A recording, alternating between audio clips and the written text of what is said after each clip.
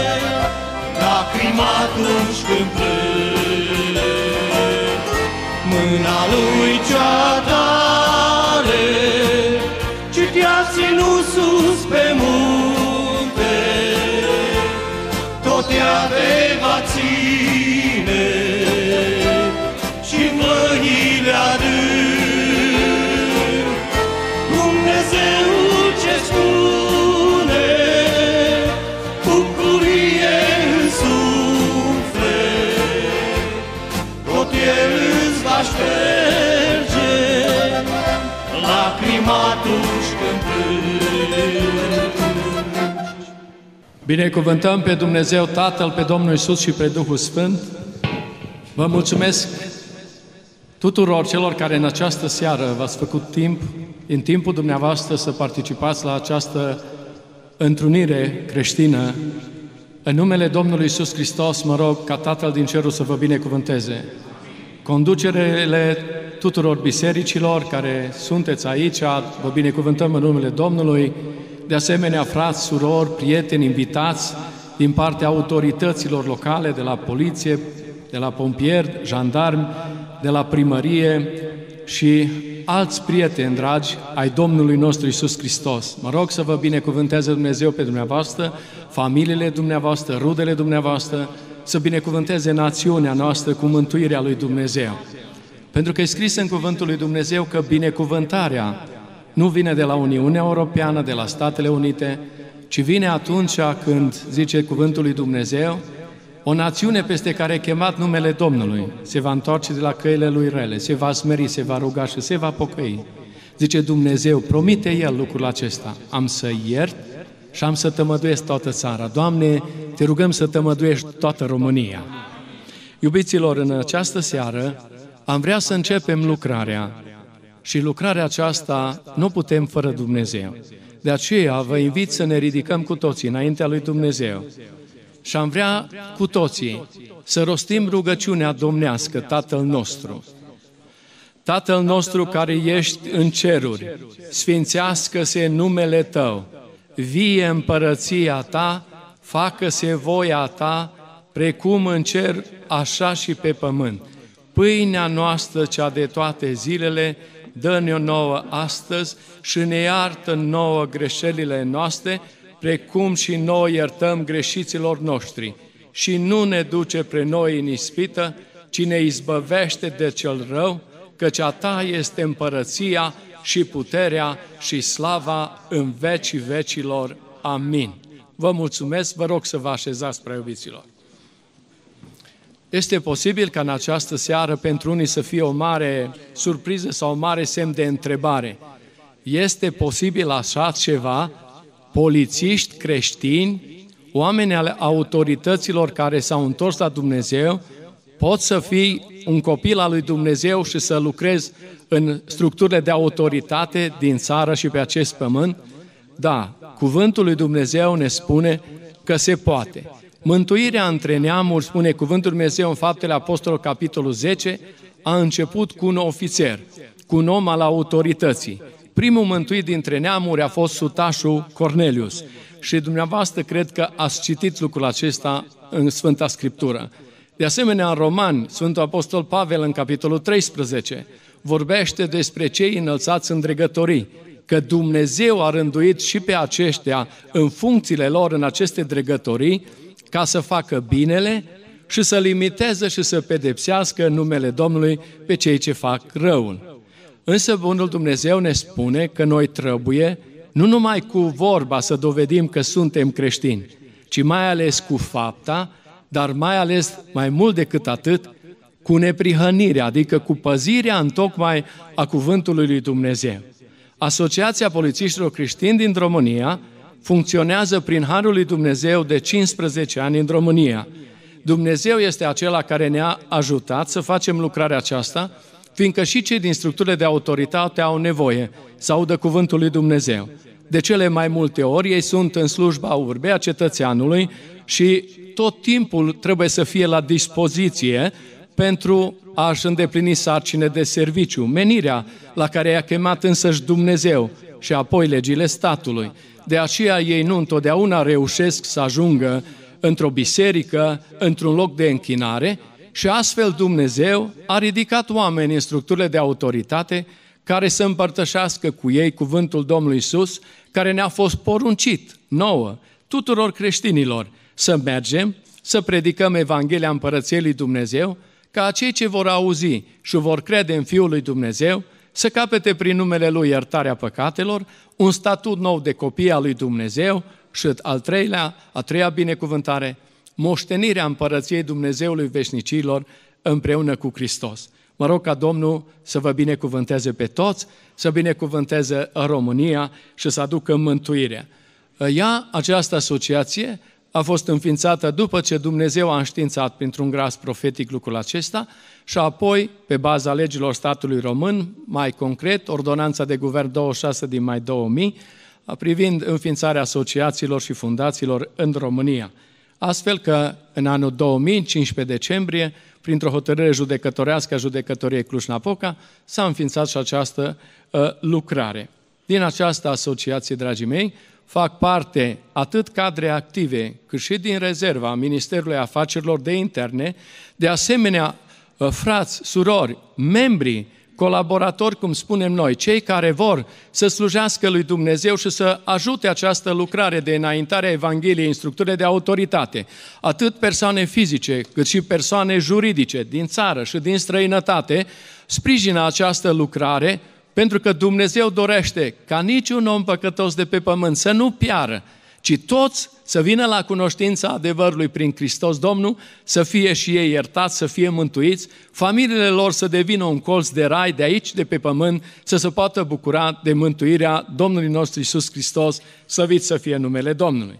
De asemenea, dragii mei, activitatea acestei asociații uh, incumbă, dragii mei, conferințe zonale, 3-4 județe, apoi conferințe naționale la nivel național, conferințe internaționale la care participe polițiști din Federația Internațională, în toate statele lumii, dragii mei, Dumnezeu a scos oameni la mântuire din structurile de autoritate, iar împărăția se extinde începând din Japonia și până în capătul Statelor Unite, Africa și peste tot, oricine crede în Fiul lui Dumnezeu capătă iertarea, mântuirea și viața veșnică, slăvit să fie Domnul.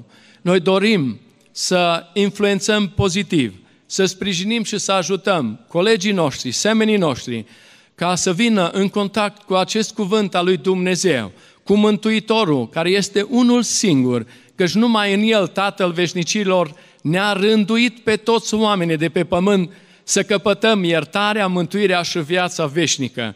De aceea noi ne dăm toate silințele în fiecare zi să facem lucrarea aceasta pe care ne-a promis-o și ne-a, ne-a poruncit-o, de fapt, Bunul Dumnezeu.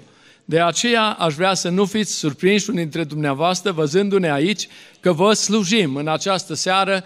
Am format și un cor, atât la nivel județean cât și la nivel național, un cor al acestei asociații a polițiștilor creștini din România, prin care vrem să slăvim numele lui Dumnezeu, prin care vrem să încurajăm pe semenii noștri și să-i motivăm ca și ei să slujească trăind și împlinind ceea ce este scris în Cuvântul Lui Dumnezeu, având în vedere și luând în considerare că ne-am declarat cu toții o națiune creștină. Și încă unii spun că de 2000 de ani România este creștină. Să dea bunul Dumnezeu să fie așa, pentru că astfel noi să rămânem fără serviciu. Adică pușcăriile să fie goale, măcar că unii spun că sunt creștini, să nu mai fie avorturi, să nu mai fie fapte rele, să nu se mai devalizeze bănci, să nu mai fie o stare infracțională ridicată, ci din potrivă, să fie o țară binecuvântată în care, cu adevărat, să se împlinească cuvântul lui Dumnezeu, iubind pe aproapele nostru ca pe noi înșine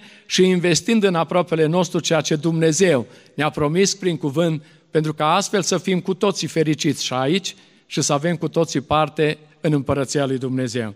Acum, iubiții mei, dați nevoie să și uh, lăudăm pe Dumnezeu cu prima cântare corală pe Sfânta Vieții Cărare. Aceasta noi am adoptat-o ca și imn a Asociației Polițiștilor Creștini din România. După această cântare, rog pe fratele Pârvu Cornel, Domnul să binecuvânteze, este și dirijorul nostru, ne va motiva uh, din Cuvântul lui Dumnezeu să facem o rugăciune specială pentru frământările care există în momentul acesta în națiunea noastră, pentru durerile și suferințele care sunt în poporul acesta și de asemenea, având în vedere și conjunctura internațională, avem nevoie ca Dumnezeu să binecuvânteze conducerea țării. Avem nevoie ca Dumnezeu să binecuvânteze conducerile locale. Avem nevoie ca Dumnezeu să ocrotească România. Căci e scris în cuvântul lui Dumnezeu, degeaba păzesc cei ce păzesc, dacă nu păzește Dumnezeu o cetate. Noi îl rugăm pe Dumnezeu să ne ajute ca împreună să stăm uh, la dispoziția lui Dumnezeu și să fie binecuvântată națiunea, dându-ne fiecare contribuția și dându-ne fiecare în slujba aproapelui nostru, cu ceea ce Dumnezeu ne dăruiește fiecăruia. Domnul Dumnezeu să ne ajute să împlinim ceea ce El ne-a spus. Pentru că El a zis, dacă voi păziți cuvântul meu și prin aceasta duceți multă radă, Tatăl meu din ceruri va fi proslăvit. Și orice veți cere, a zis Mântuitorul, în numele meu veți căpăta. Doamne ajută, Doamne dă izbândă. Amin.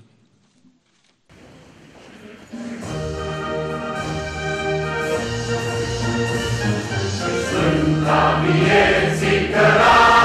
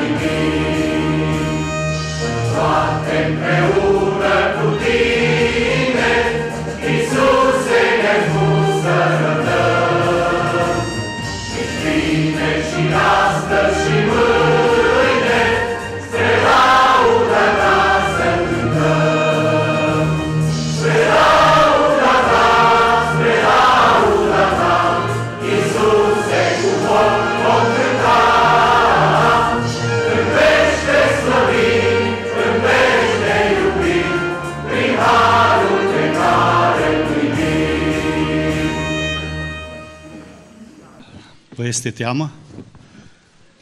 Cu atâția polițiști, poate îmbrăcați la fel, vă înțeleg. Dar înțeleg pe cei mici, ei privesc fără teamă și când i-am întrebat cum îi cheamă, fiecare mi-a spus numele și vârsta lor. E o bucurie la poalele muntelui Vlădeasa, în această zi de bucurie, să stăm împreună și să ne rugăm pentru țara noastră, dragă, România. Aș vrea să-mi permite să citesc ultimele versete din Sfânta Scriptură a Vechiului Testament, din cartea Maleahi, ultimul verset al capitolului 4. El va întoarce inima părinților spre copii și inima copiilor spre părinți lor, ca nu cumva, la venirea mea, să lovesc țara cu blestem. România, o țară binecuvântată de Dumnezeu. România, locul unde Dumnezeu ne-a așezat pentru o vreme în călătoria noastră, să-i binecuvântăm numele. Aici în Huedin mă bucur să văd atâția oameni care îl slujesc pe Dumnezeu. Aceia care sunteți în locul acesta, toți vrem ca să îl slujim pe Dumnezeu. Însă există o mică problemă pe care aș vrea să vă aduc în fața dumneavoastră ca și o provocare în seara aceasta. Copii și părinți deopotrivă. Familia să îl slujească pe Dumnezeu. Sunteți în seara aceasta mulți dintre dumneavoastră cu copiii voștri. V-ați gândit vreodată ce vremuri de har trăim, în care în poliție, în armată, să existe oameni care să-L slujească pe Dumnezeu.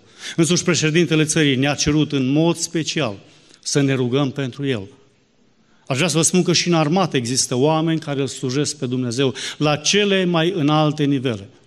În Parlament sunt oameni care își încep rugăciunea de dimineață, așa cum ne-am rugat cu toții împreună. Și aș vrea să vă motivez, dragii mei, cei care locuiți aici în Huedin, părinților, întoarceți-vă inima spre copiii voștri.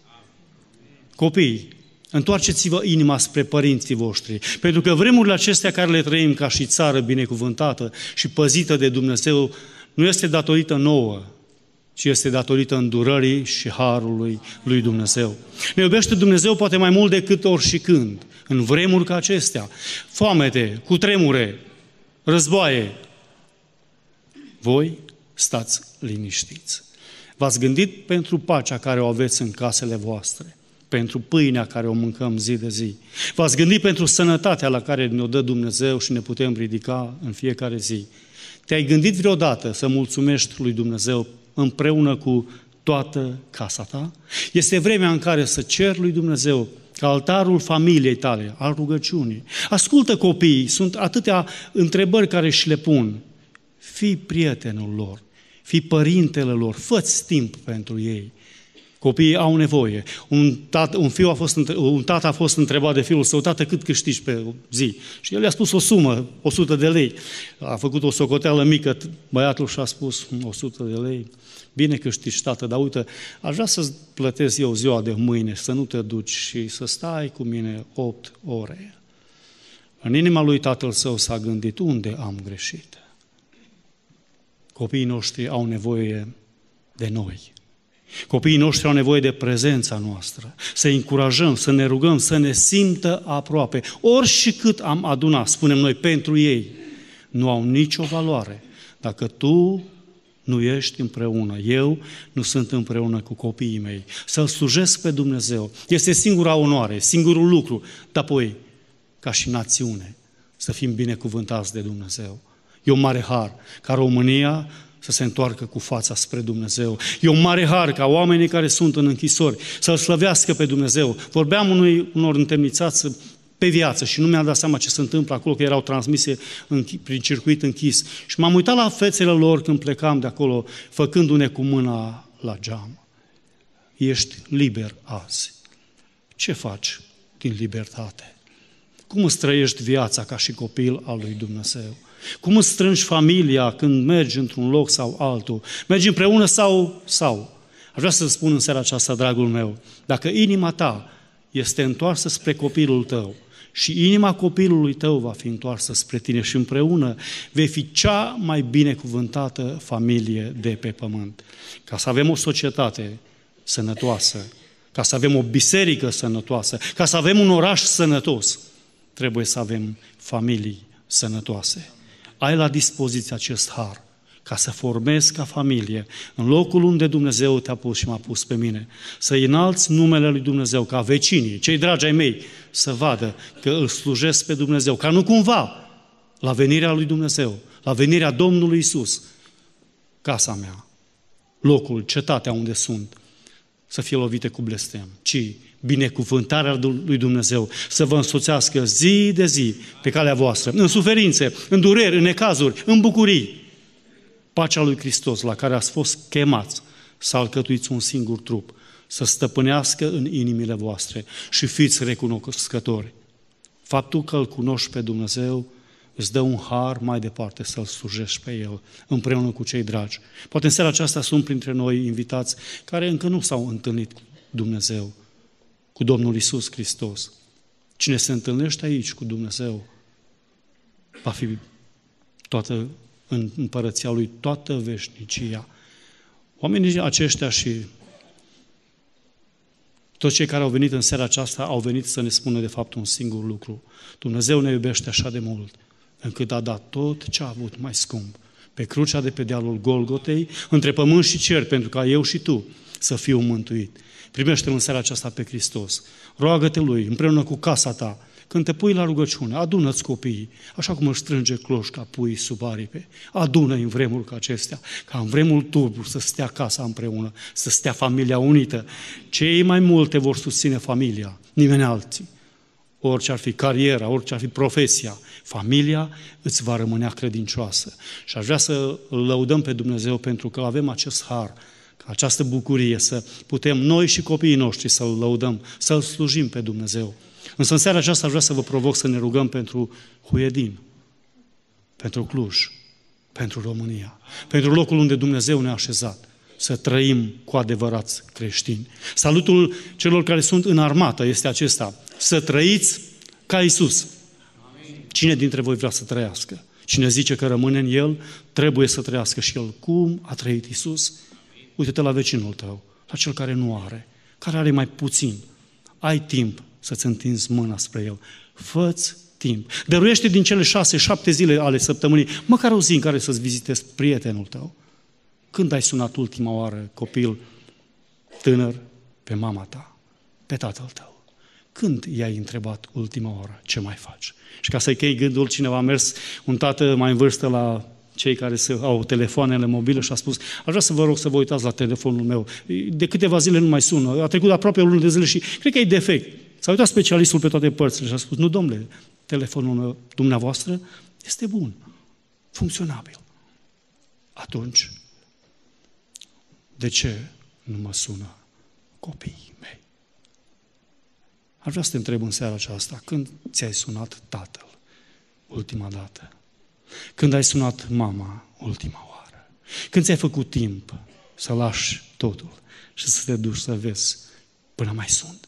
Prețuiți-vă unii pe alții. Și pentru că vrem să ne rugăm pentru țara noastră dragă, în seara aceasta, aș vrea să plecăm inimile înaintea lui Dumnezeu. Și doi bărbați de aici se vor ridica și se vor ruga pentru părinți și copii din țara noastră, ca Dumnezeu să întoarcă inima unora spre altora, ca la venirea Domnului Isus, țara românească, România, să fie o țară binecuvântată, să fie revărsat din belșug, peste Huedin, peste Cluj, peste țara aceasta frumoasă, binecuvântarea lui Dumnezeu. Dumnezeu să vă binecuvinteze cu viață veșnică și să vă dea har, să puteți să vă bucurați de timpurile de pace în care trăim. Plecăm inimile și doi bărbați se vor ruga pentru România. Părinte Ceresc, în această dupămasă, fiind adunați în locul acesta, te binecuvântăm. Îți mulțumim, Doamne, că până aici ai fost cu noi. Te rugăm, Doamne, Tată din ceruri, să binecuvintezi România. Te rugăm, Doamne, să binecuvintezi acest popor. Doamne, te rugăm să binecuvintezi conducerea acestei țări cu înțelepciune, conducerea tuturor instituțiilor statului, Doamne, să le dai înțelepciune și sănătate. Ca conducând acest popor, Doamne, bine și noi să beneficiem, Doamne, de bunătatea Ta, să binecu de mântuirea Ta. Te rugăm, Doamne, să ai milă de locuitorii din această localitate, Doamne, de cei care în această seară au venit în locul acesta, Doamne, să stea la părtășie, Doamne, cu Tine. Binecuvintează, Doamne Dumnezeule, România, binecuvintează pe toți cei care, într-o inimă curată, Doamne, te caută pe Tine. Ai milă, Doamne, și rămâi cu noi în continuare și îți mulțumim pentru toate. Amin. Tată Ceresc, în numele Domnului Isus Hristos, te rog, privește cu milă în locul acesta. Binecuvintează strângerea noastră din seara aceasta. Noi am lăsat lumea, am lăsat lucrurile lumii și am venit înaintea ta. Și te rog, Tată, cercetează orice inimă care a intrat în locul acesta și fă numele de slavă. Tată, noi nu avem merite, dar îl avem pe Fiul Tău care și-a întins mâna în Golgota pentru fiecare din locul acesta. În numele Domnului Isus Hristos, te rog, ascultă rugăciunea aceasta, șterge lacrimile mamelor care plâng în toiul nopții pentru copiii lor, șterge lacrimile copiilor care plâng pentru părinții lor. Tată, mai fă o zi de îndurare în Huedin, mai fă o zi de binecuvântare în Huedin și noi te vom slăvi și te vom preamări. În numele Domnului Isus Hristos cer lucrurile acestea, Tată, binecuvintează țărișoara noastră. Doamne, se împlinește cuvântul Tău care l-a lăsat scris. Să cutremură pământul, împărățiile se cutremură. Slăvit să fie numele Tău, dar Tu ai spus prin cuvântul tău și prin proroci, că tu vei păzi pe copiii tăi. Te rog, păzește copiii tăi de și dă-le biruință, Tată.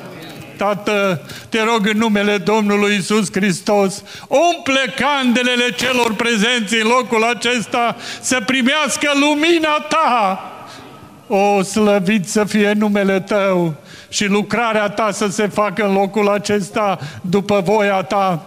Te rog, Tată Ceresc, trimite înțelepciune din cerurile Tale peste cei care ne conduc, Doamne, de la nivelul satului, de la nivelul comunei, până la nivelul țării, Doamne, cel rău face răzmerițe tot mereu pe tot pământul acesta, dar știm că biruința este a Ta și prin tine se biruiește. De aceea trimite un duc de supunere, trimite un duc de rugăciune peste tot poporul românesc, Doamne. Dă putere la toți din toate bisericile să intre în cereri și rugăciune și să te slujească pe tine pentru că Tu ai scris în cuvântul Tău că dacă ne vom întoarce la Tine, Tu vei binecuvânta țara. Te rog în numele Domnului Isus Hristos, fie milă de țara aceasta, Doamne, și trimite puterea Trinității Tale peste cei care lucrează în numele Tău.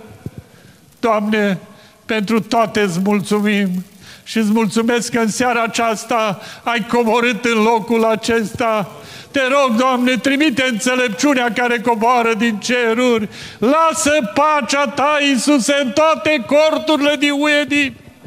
În numele Domnului Isus Hristos îți mulțumesc, te laud și te preamăresc. Amin. Poate pentru unii pare o surpriză ceea ce uh, se întâmplă în seara aceasta aici. Uh, unii sunt obișnuiți să cheme numele Domnului doar într-un loc special, într-un loc anume, considerând că doar acolo Dumnezeu răspunde. Dumnezeu răspunde oriunde. Aduceți-vă aminte de Mântuitorul. El nu a avut unde să-și plece capul.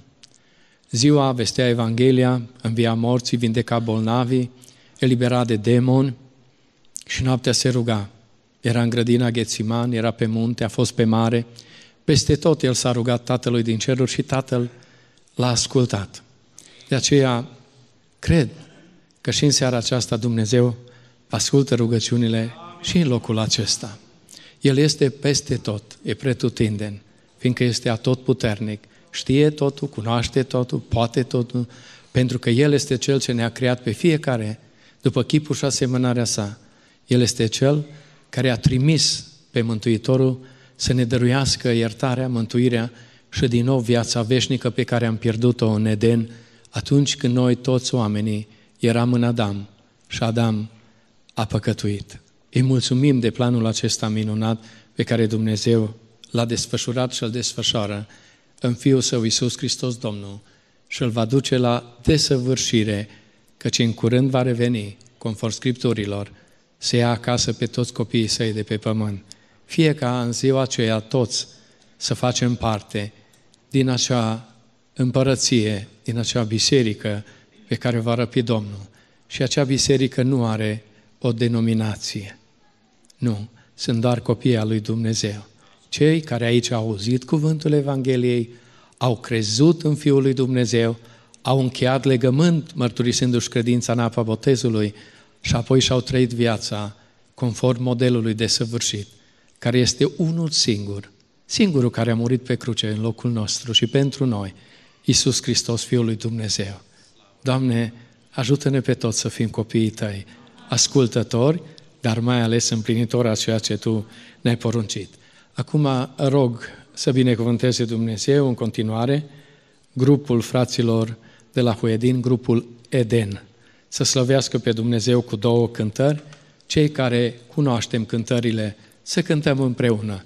E așa o mare bucurie să fii copilul Domnului și să slăvești pe Dumnezeu, să știi că cel mai mare, comandantul suprem, cum spunem noi cei din structurile de autoritate, Dumnezeu este Tatăl tău, este Cel care te ține în mânuța Lui Preasfântă și care îți dă viața din belșug, care te, te ocrotește în fiecare zi și îți poartă de grijă ție, casei tale, familiei tale. Și într-o zi, dacă aici facem ce ne spune, El a promis că vine să ne ducă în împărăția sa slăvită, unde nu va fi lacrimi, durere, nici moarte, nici suspin, nici foamete, nici alte probleme, ci acolo ne vom bucura de pururea cu Dumnezeu, pentru că aici pe pământ am luat decizia corectă, și anume aceea de a primi mântuirea sa, mântuire care oferă în dar, fără fapte, ci în dar. Dar după ce am primit mântuirea, trebuie să se vadă faptele Hristosului noi. Dacă în adevăr suntem copiii Tatălui, atunci copiii trebuie să semene cu Tatăl.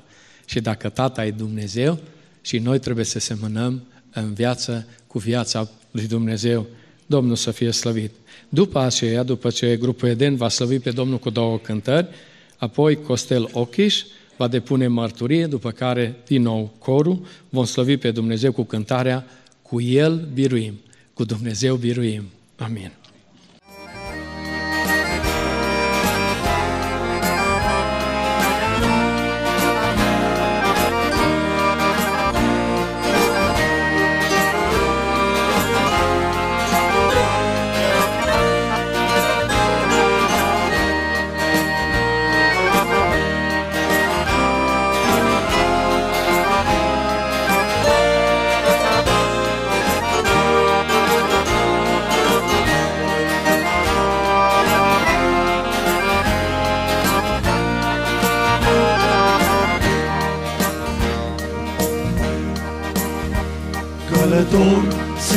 Aici pe pământ, Țara mea e cerul sfânt. Eu sunt fiu de împărat, voia lui o împlinesc, Pe Iisus îl iubesc și îl slujesc. Eu sunt fiu de împărat, voia lui o împlinesc, Pe Iisus îl iubesc și îl slujesc. Țara mea e un loc de vis, țara mea e paradis, Căci Iisus un loc mi-a pregătit. Țara mea e un loc de vis, țara mea e paradis, Căci Iisus un loc mi-a promis. Greutăți, îndoieli din mereu, Să-l tine crezul meu, Pe genunchi mă așez și în rugă implor pe Iisus să-mi dea ajutor. Pe genunchi mă așez, în rugă implor pe Iisus să-mi dea ajutor. Țara mea e un loc de vis, țara mea e un paradis, căci Iisus un loc mi-a pregătit.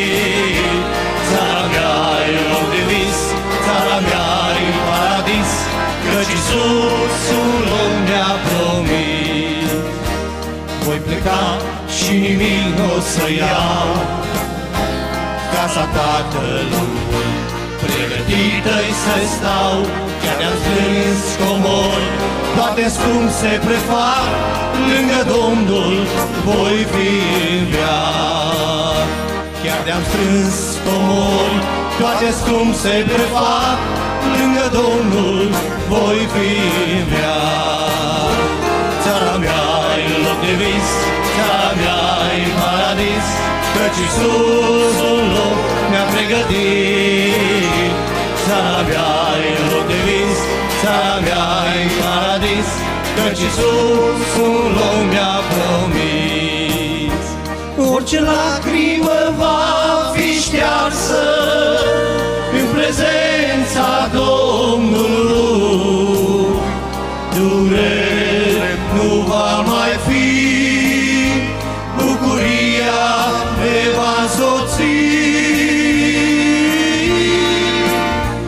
Țara mea e loc de vis, țara mea e paradis, Căci Iisus un loc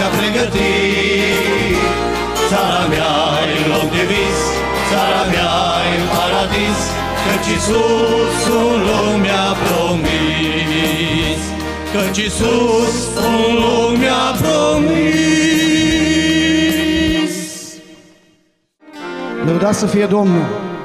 Dacă fratele Șeulean spunea că oriunde, dacă ești și îl cauți și îl chem pe Dumnezeu, te ascultă, oricine ai fi, astăzi poți să te întâlnești cu Isus Hristos. Astăzi, poate că ai venit cu probleme, ai venit cu necazuri. Isus Hristos este Cel care poate să rezolve orice problemă. Nu te uita la oameni, nu te uita la voci ce vei auzi. Cheamă-L pe Iisus Hristos. Așa cum a strigat orbo din oară. Iisuse, Fiul lui David, ai milă de mine. El va rezolva problema. E singurul care poate. Atunci când doctorii, atunci când oamenii spun nu se poate, Iisus Hristos, am soluții. Căci este suveran. Lăudat să fie Domnul. Aleluia.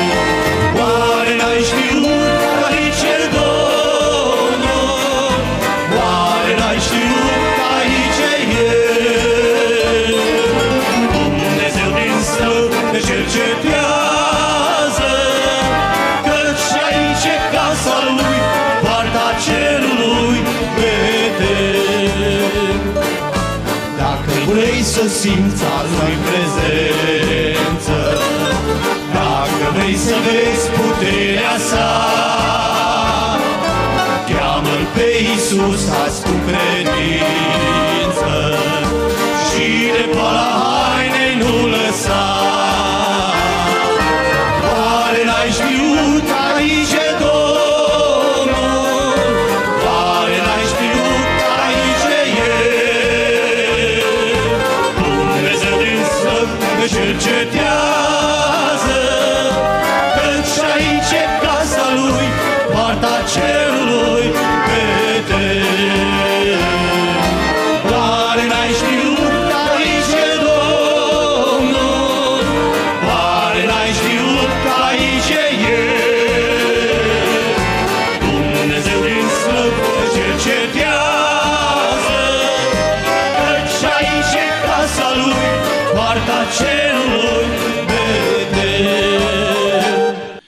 Slăvit și lăudat să fie Domnul!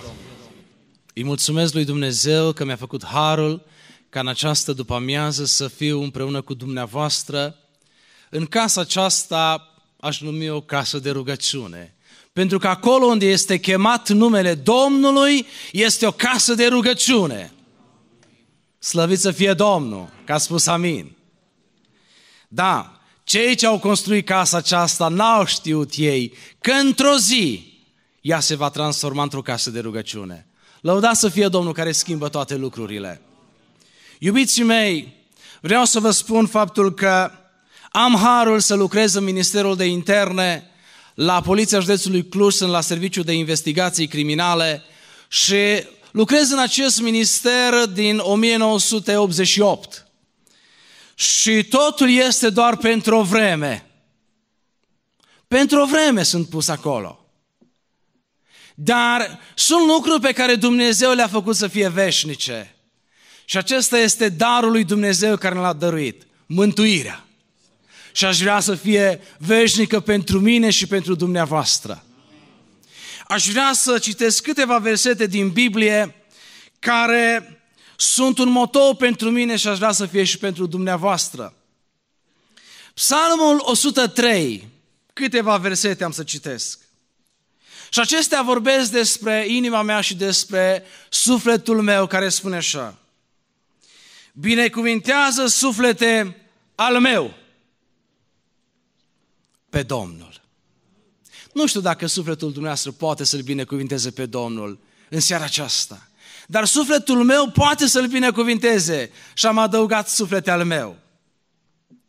Și tot ce este în mine să binecuvinteze numele Lui cel Sfânt. Binecuvintează suflete pe Domnul și nu uita niciuna din binefacerile Lui. Amin. Păi cum să uiți binefacerile Domnului?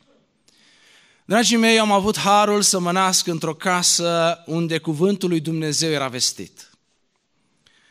Bunicii mei erau întorși la Domnul și Dumnezeu a hotărât să mă aduc în casa aceea unde cuvântul lui Dumnezeu era vestit. Părinții nu, nu erau întorși la credință. Doar din când în când mergeau la biserică și ne duceau și pe noi. Dar bunicii au avut de grijă ca de mici să pună în inima mea și în inima fraților mei cuvântul lui Dumnezeu. Și pentru că Dumnezeu este Cel care lucrează într-un mod deosebit și lucrează la vremea hotărâtă de El, anii au trecut și din clasa șasea ne-am mutat către oraș cu părinții și relația cu bunicii s-a răcit. Dar în perioada aceasta cât am stat cu bunicii în aceeași casă, ne-au învățat din cuvântul lui Dumnezeu, ne-au învățat cântările Domnului și chiar ne-au pus să slujim lui Dumnezeu. Deși în sat, acolo, în comuna Hida, în satul Stupini, nu era casă de rugăciune. Și trebuia să mergem în satul vecin, în comuna Dragu, unde 4 km pe jos peste deal dus întors, ne-a dus bunicul de câteva ori și acolo am slujit lui Dumnezeu și cântam cântarea numai odată, o știți și dumneavoastră. Eu o cântam atunci și nu știam ce cânt. A trebuit să treacă câțiva ani să înțeleg și Dumnezeu să-mi descopere de fapt ce am cântat eu atunci. Dar e minunat că Dumnezeu a hotărât să pună cuvântul Lui în inima mea și în inima părinților mei și în inima fraților mei. Și astfel, dragii mei, în clasa noua, bunicul a fost chemat la tatăl. Și în ultima lui zi de viață i-a chemat pe cei doi copii al lui, pe tata, care era muncitor, și pe celălalt copil al lui, care era judecător în Baia Mare, mai exact era președintele judecătoriei Baia Mare. Și nu era ușor pe vremea aceea, pe vremea lui Ceaușescu, să ai părinți care sunt pocăiți. Și știți, mulți dintre dumneavoastră lucrul acesta. Și în ultima lui zi de viață le-a spus așa, în ultimele clipe de viață a spus, mă duc bucuros la Tatăl pentru că astăzi Dumnezeu mi-a aprobat cererea pe care o fac de ani de zile. Curioși copiii au întrebat, ce cerere, tată? Și a spus, v-am cerut din mâna lui Dumnezeu ca toată casa mea să se pocăiască. Și astăzi Dumnezeu mi-a făgăduit, mi-a spus că cererea mea a fost aprobată și eu mă duc bucuros. Și în ziua aceea și închis ochii, să știți. Cei doi n-au crezut. Ba mai mult, judecătorul a sărit în sus și a zis, eu niciodată, cât am suferit pentru pocăința dumneitale și a lui mama. Dar la aceste cuvinte bunicul nu i-a mai răspuns. Este o vreme când trebuie să taci și să lași pe bunul Dumnezeu să lucreze așa cum a hotărât El.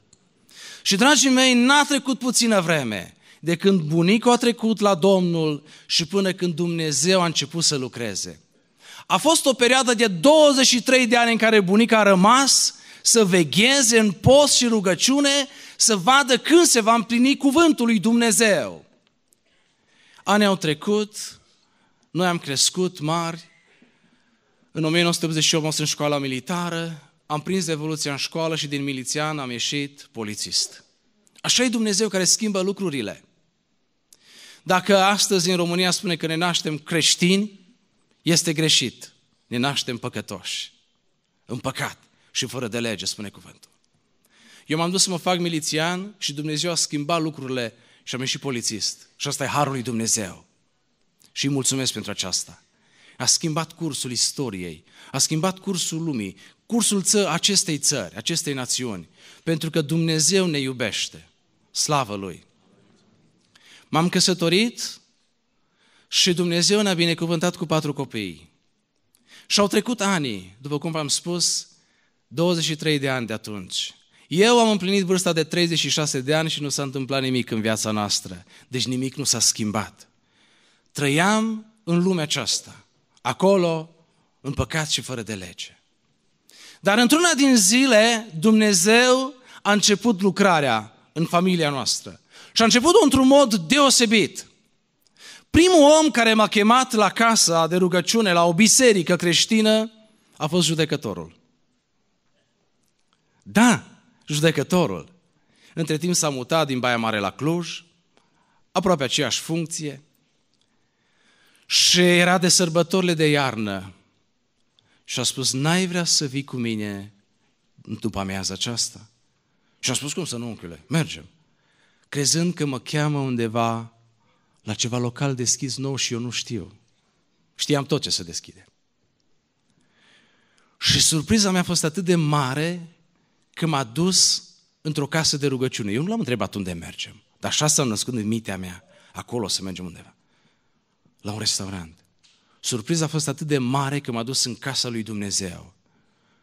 Și am spus, Eugen, tu ai nebunit? După mine mă duci la pocăiți? O, zice, tu nu pricepi acum.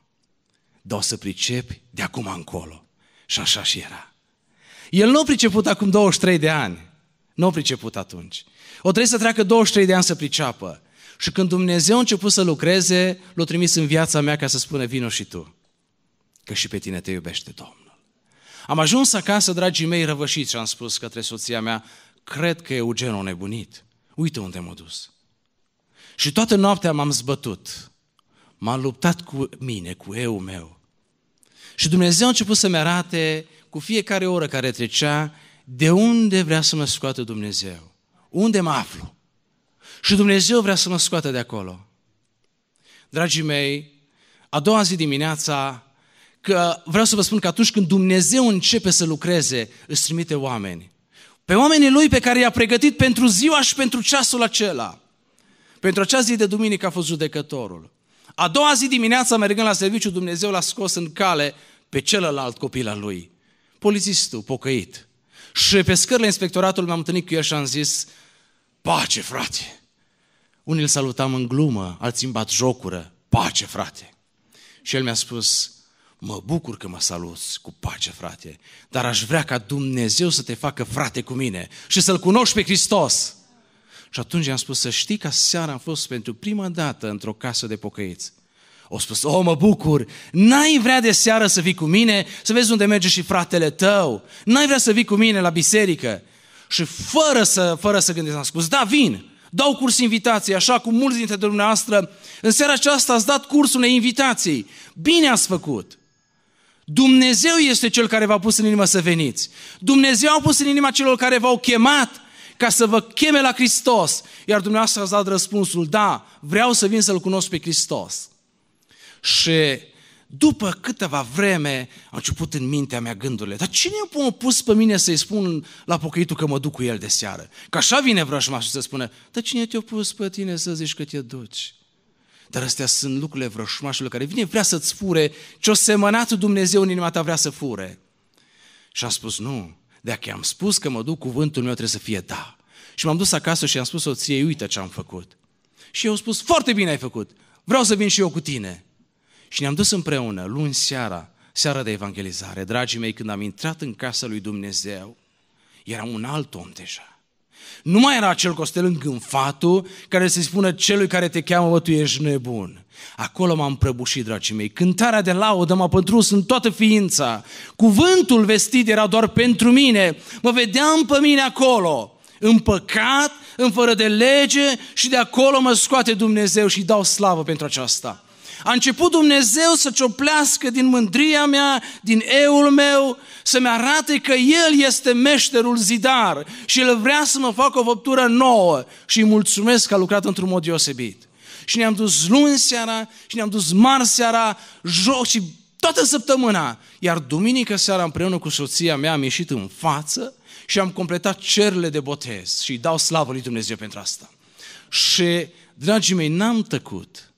Luni dimineața m-am dus la serviciu și primul om care mi-a ieșit în cale a fost fratele meu care era polițist și el. Pe holurile poliției, 20 ceva de colegi, cafeaua și țigara de dimineață, înainte de ședință. M-am dus la el și i-am spus așa, Teo, aseară eu și soția mea ne-am predat Domnului. Am, încheiat, am făcut cererea de botez. Mă pocăiesc. El avea într-o mână țigara și într-o mână cafeaua. Câteva clipe au rămas mut. Am crescut în aceeași casă. Au auzit la fel cuvântul ca și mine. Am cântat când această cântare numai odată tu trăiești împreună. A aruncat țigara, i-a dat cafeaua un coleg, a scos pachetul de țigări, l-a aruncat în scrumieră și a spus, și eu mă pocăiesc cu tine. Dragii mei, dacă cu mine a lucrat într-o zi și o noapte, cu el a lucrat într-atâta, într-o clipă. Ăsta e Dumnezeu. Așa lucrează Dumnezeu într-un mod minunat. După 23 de ani, o zi și o noapte și pentru el o clipă. Și, dragii mei, a început lucrarea în casa noastră. Și începând din luna februarie, martie, april, mai, în fiecare lună a fost sărbătoare în casa noastră. Judecătorul, părinții noștri, fratele meu mai mare și eu și cu soția în luna mai. Așa eram rânduiți pe biserici în cartiere unde locuim în Cluj. Și îi dau slavă lui Dumnezeu pentru asta. Dar cât de minunat este cuvântul lui Dumnezeu că El îl împlinește la vremea hotărâtă de El. V-am spus că bunica a rămas în viață 23 de ani. În luna mai, eu și cu soția mea am intrat în apa botezului. Și după câteva zile după ce am ieșit din apa botezului, bunica a trecut la Domnul. A văzut cu ochii ei împlinit cuvântul lui Dumnezeu. Credeți că Dumnezeu mai vorbește și astăzi? Amin. Slavă lui Dumnezeu! El vorbește și El împlinește la vremea hotărâtă de El. Nici nu întârzie, nici nu grăbește. Cred că și bunica mea ar fi vrut să vadă mai repede lucrul ăsta. Dar este hotărât de Dumnezeu vremea mântuirii. Și dau slavă lui Dumnezeu pentru aceasta. Dragii mei, Dumnezeu nu s-a oprit cu lucrarea aici.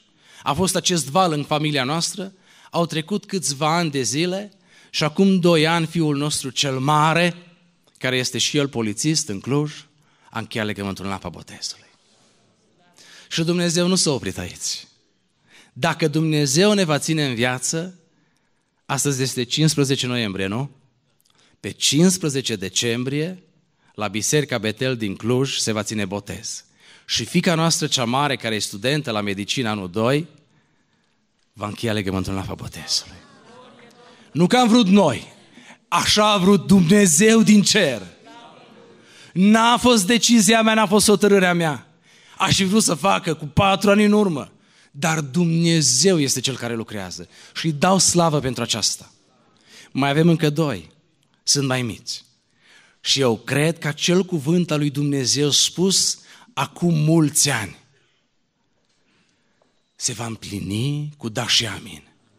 Și se va împlini și în dreptul celorlalți doi și atunci voi putea spune, cum a spus Iosua odinioară, cât despre mine eu și casa mea voi sluji? Aleluia! Domnului voi sluji. Și vreau să-i slujesc lui toată viața și vreau să-i mulțumesc lui Dumnezeu toată viața. Și apoi cum să nu-L binecuvintez pe Domnul pentru toate binefacerile Lui? Mie mi-a făcut mult bine și îi mulțumesc pentru aceasta. Cred că și dumneavoastră v-a făcut mult bine. Dar să știți că n-am fost adus numai pe flori. Dumnezeu a îngăduit și încercări în viața noastră. A îngăduit și suferință, și boală. Dar acolo în suferință și boală Dumnezeu ne-a vorbit și a spus, sunt cu voi. Sunt cu tine în încercare, în pasă de tine. Chiar dacă toți te-au părăsit și nu pot să te ajute, medicul va opera, dar eu sunt cu tine și te voi scăpa. Slavă lui Dumnezeu! Îi mulțumesc lui Dumnezeu că a fost cu noi în toate lucrurile. Îi mulțumesc că El își ține făgăduința. Și îi mulțumesc pentru voi care astăzi, în seara aceasta, sunteți aici și ați putut să auziți o parte din mărturia aceasta. Cum Dumnezeu a lucrat într-un mod minunat. Lăudați să fie Domnul! Vă binecuvintez pe toți în numele Domnului și Dumnezeu să-și împlinească făgăduința Lui, adusă în dreptul vostru. Domnul să aducă mântuire în casele voastre. Amin.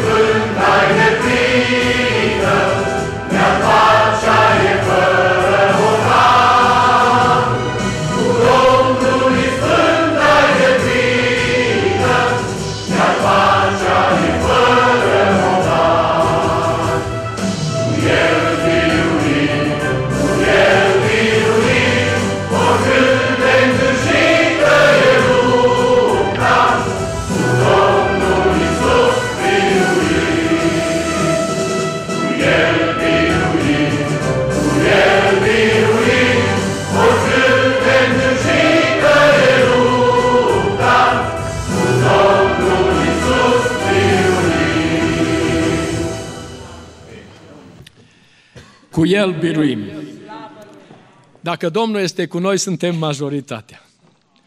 Dacă îl avem pe Domnul, am câștigat totul. Dacă nu-l avem pe Domnul, am câștigat nimic și am pierdut tot. Doamne, milă de noi! Fiți binecuvântați de Domnul, Cel care a făcut cerurile și pământul.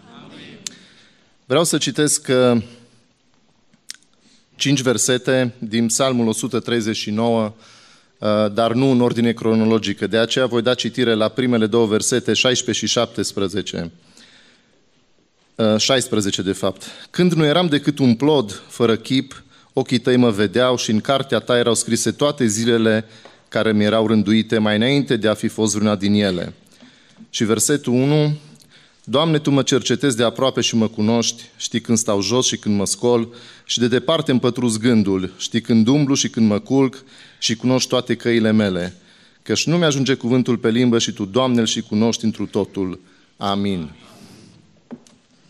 Acesta este Dumnezeul meu care mi-a schimbat viața într-un mod miraculos. Am 43 de ani, sunt polițist în municipiul Cluj-Napoca, la secția 7 poliție din Someșeni. Sunt căsătorit, Dumnezeu m-a binecuvântat cu o soție frumoasă și cu doi copii. Dar vreau să vă spun că înainte nu-L cunoșteam pe Dumnezeu cum îl cunosc acum. Când eram mic, mama mea s-a îmbolnăvit de cancer în anul 1982. Doctorii au dat foarte, foarte puține șanse. Șase luni au mai dat de trei, de fapt. Și a zis că în șase luni i-a spus tatălui meu să pregătească pentru cei mai rău. Dar uh, Dumnezeu are ultimul cuvânt. Mama mea nu-L cunoștea nici ea pe Dumnezeu. În blocul în care locuiam era o familie de pocăiți și a întrebat-o dacă vrea să se roage pentru ea toată biserica și dacă crede că Dumnezeu poate să o vindece. Ca tot omul bolnav, care zice că nu mai are nicio șansă. Ce a zis atunci? Hai, bineînțeles, hai să încerc și pe asta, dar de fapt este singura șansă și unica șansă ca Dumnezeu să se îndure de un om bolnav. Și frații s-au rugat pentru ei, au făcut ungeri, au trecut șase luni, au trecut 8 luni, s-a dus la control, s-au făcut testele și doctorul care a operat a zis dacă eu nu v-aș fi operat, uh, v-ați fi spus că s-a greșit diagnosticul, dar nu mai aveți nimic. Dumnezeu v-a vindecat, exact așa a zis. Și într-adevăr Dumnezeu a vindecat-o. Dar au trecut ani și mama mea se ducea la adunare, dar mai cocheta cu lumea aceasta. Și după patru ani de zile Dumnezeu a încercat-o din nou printr-o boală de rinic de data aceasta și a pus-o la pat. Uh, pot să spun că atunci a zis, Doamne, dacă și de aici mă ridic și mă scap, eu cu adevărat o să mă întorc la Tine să mă pocăiesc. Și Dumnezeu, în marea Lui înțelepciune, s-a coborât și la, la mintea ei acolo, că vedeți, ne ascultă până în cele mai mici detalii și se coboară la nivelul nostru. Și a vindecat-o și de acolo. Și mama are acum 75 de ani, trăiește, eu am 43 de ani, sunt aici în fața dumneavoastră și pot să spun lucrul acesta cu tărie că Dumnezeu lucrează cu adevărat. După ce s-a întors mama la Domnul, la un an de zile s-a întors și tatăl meu, dar eu uh, deja eram prins de mrejile acestei lumi, m-am depărtat de Dumnezeu, m-am căsătorit în lume, m-am făcut polițist, dar tot Dumnezeu mi-a rânduit și slujba aceasta. Dacă stau și mă gândesc în urmă, chiar nu meritam sub nicio formă să mă aflu acum în fața dumneavoastră, dar aceasta este dragostea Lui în care ne cuprinde, ne cuprinde pe toți. Și vreau să vă spun că m-a chemat la El cu o dragoste extraordinară. Nici măcar cu un deget nu m-a apăsat. Pot să vă spun că în marea lui dragoste m-a chemat. Și vreau să vă relatez lucrul acesta. Când aveam 37 de ani împliniți, mergeam pe 38, mi-a dat un telefon mama mea și mi-a spus la un moment dat, mă copile, zice, la noi în adunare ți-a ieșit o lucrare și zice că Dumnezeu te iubește foarte mult și în curând o mare binecuvântare va veni peste tine. Eu atunci eram prins cu febra asta a îmbogățirii, să mă duc după cât mai mult, după poziție socială. Și mă gândeam, mă, ăsta e momentul. N-am stricat casa nimănui, n-am dat în cap la nimeni, am o slujbă, sunt cineva, vorba aia, așa în lume, o să câștig la loto, că ăsta, asta așteptam eu, mă gândeam să câștig. Și asta e marea binecuvântare lui Dumnezeu, că mă iubește, e normal, o să-mi dea bani. Dar ă, asta a fost gândul meu firesc, adică așa poate să, să gândească un om firesc care nu este atins de Duhul lui Dumnezeu. Dar slavă lui Dumnezeu că nu asta a fost marea binecuvântare și mulțumesc că nu a fost această mare binecuvântare pentru mine, ci a fost că după trei luni de zile s-a îndurat de mine și mi-a ieșit în cale. Mi-a ieșit în cale ca și lui uh, Pavel, eu cel mai păcătos. Eram acasă într-o seară, în februarie, în 2009, singur și ascultam niște cântări de a fraților uh, din grupul Speranța, pe care mi l-a dat un cd tatăl meu mai de mult, pe care l-am ignorat, l-am aruncat undeva în bibliotecă, dar l-am găsit așa cu timpul și am ascultat uh, cântecele acelea. Vreau să spun că în acea perioadă nu aveam pace, nu aveam liniște. Deși aveam material, tot ce îmi doream, pot să vă spun, uh, nu aveam nimic, nu mă mulțumea cu nimic, căutam tot mai mult, uh, realizările mele mă mulțeau pe, pentru moment și după aia simțeam un gol, simțeam altceva, îmi lipsea ceva. Și cum am ascultam cântările acelea, m-a cercetat foarte mult uh, o cântare care zice așa, orice pas Iisus mi-l conduce, slavă Lui, slavă Lui. Și mi-am dat seama că, de fapt, golul acela pe care nu-l puteam umplea cu o absolut nimica, era golul și dorul după Dumnezeu și m-am prăbușit, pot să spun, în, în fața Lui, pentru că cuvântul zice că cine mă va căuta din toată inima mă voi lăsa găsit. Am simțit atunci că vreau să stau înainte Lui și să zic, Doamne, dacă Tu existi cu adevărat, pot să mă schimbi, am încercat de tete ori, îmi place aia, aia și aia, am vrut să le las deoparte, le-am lăsat pentru câteva timp, dar iarăși le-am reluat. Dacă Tu existi, Tu poți să mă schimbi cu adevărat. Nu știam să mă rog, dar m-am rugat cu cuvintele mele simple. Și vreau să vă spun că în seara aceea eram singur acasă, în camera în care eram, mergea muzica a fraților de la Speranța și dintr-o dată în camera mea a venit o lumină extraordinară. Ca și reflectoarele astea, dar reflectoarele astea, dacă te uiți la ele, nu te poți uita cu adevărat. Dar era o lumină foarte puternică și mă puteam uita la ea și am știut, nu știu cum să vă explic, în toți sporii mei că acela este Dumnezeu, acela este Isus Hristos. Și când mi-am dat seama că de fapt acela este Dumnezeu, a venit la mine în cameră, nu știu cum să vă explic, am prăbușit la pământ și am zis, Doamne, sunt cu adevărat terminat. Mi-a fost și frică, dar în același timp o pace și o liniște m-a pătruns fără, fără explicație. Și așa ca un curent din cap până în picioare, ca o căldură, s-a dus. Și după aia s-a dus și lumina din camera mea. Eram răvășit, plângeam, nu știam ce s-a întâmplat cu mine, m-am ridicat de acolo și am zis, hai să mai pun o dată melodia, că poate să respecte experiența. Am mai pus o dată melodia, dar nu s-a mai repetat experiența respectivă. Imediat a venit acasă soția mea, m-a văzut răvășit, m-a întrebat ce s-a întâmplat, nici n-am putut ce să-i spun. Dar a doua zi m-am dus la serviciu și eu locuiesc în Mănăștur. Din Mănăștur până în Someșeni sunt aproximativ 10 km de trafic foarte greu, aglomerație mare. Eram nervos la volan, vorbeam urât, mă nervam și am constatat că am ajuns la serviciu fără să mă enervez, fără să scot o, o vorbă de o cară pe gură și nu știam ce se întâmplă. Colegii mei mă așteptau, eram primul la cafea, la țigară, la alte bancuri și când am auzit cum vorbesc și ce fac, parcă nu mai îmi plăcea și m-am dus în biroul meu, au venit după mine și mi-au zis ce se întâmplă cu tine, ești bolnav? Nu, nu sunt bolnav, dar nici nu știam ce să le spun. Dar după aia mi-am dat seama că, de fapt, în seara aceea, Dumnezeu, acolo când a venit la mine, a scos tot ceea ce este rău și murdar din viața mea. Aia a fost, de fapt, nașterea din nou în care Dumnezeu m-a născut din nou. Am fost ca un copil. Mi-a schimbat efectiv viața, mi-a schimbat prioritățile, mi-a schimbat plăcerile. Nu mai aveam plăcere pentru lucrurile păcătoase din lume, ci vreau să vin acasă cât mai mult să-mi șterg toată muzica, să ascult muzică creștină. Dacă înainte nici măcar nu știam conținutul sau unde să citesc din Ioan, din Apocalipsa, ce să mă mai duc la trimiteri, uh, atunci mergeam acasă și deschideam Biblia și parcă tot ce era scris aici era scris pentru mine.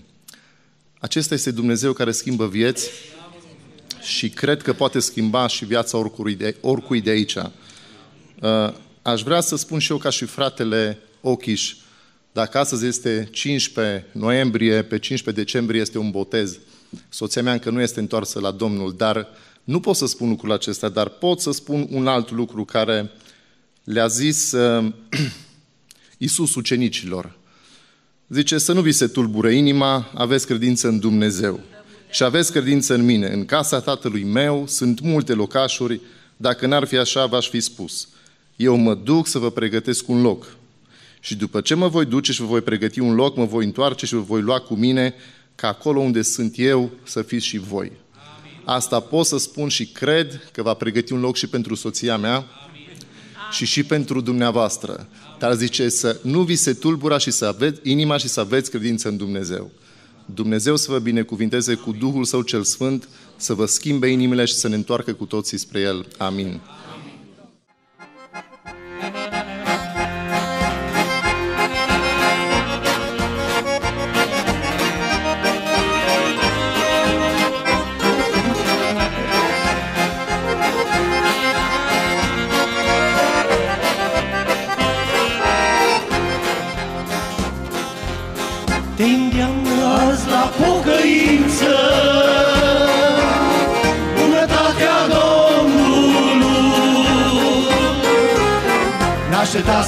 treci prin suferință.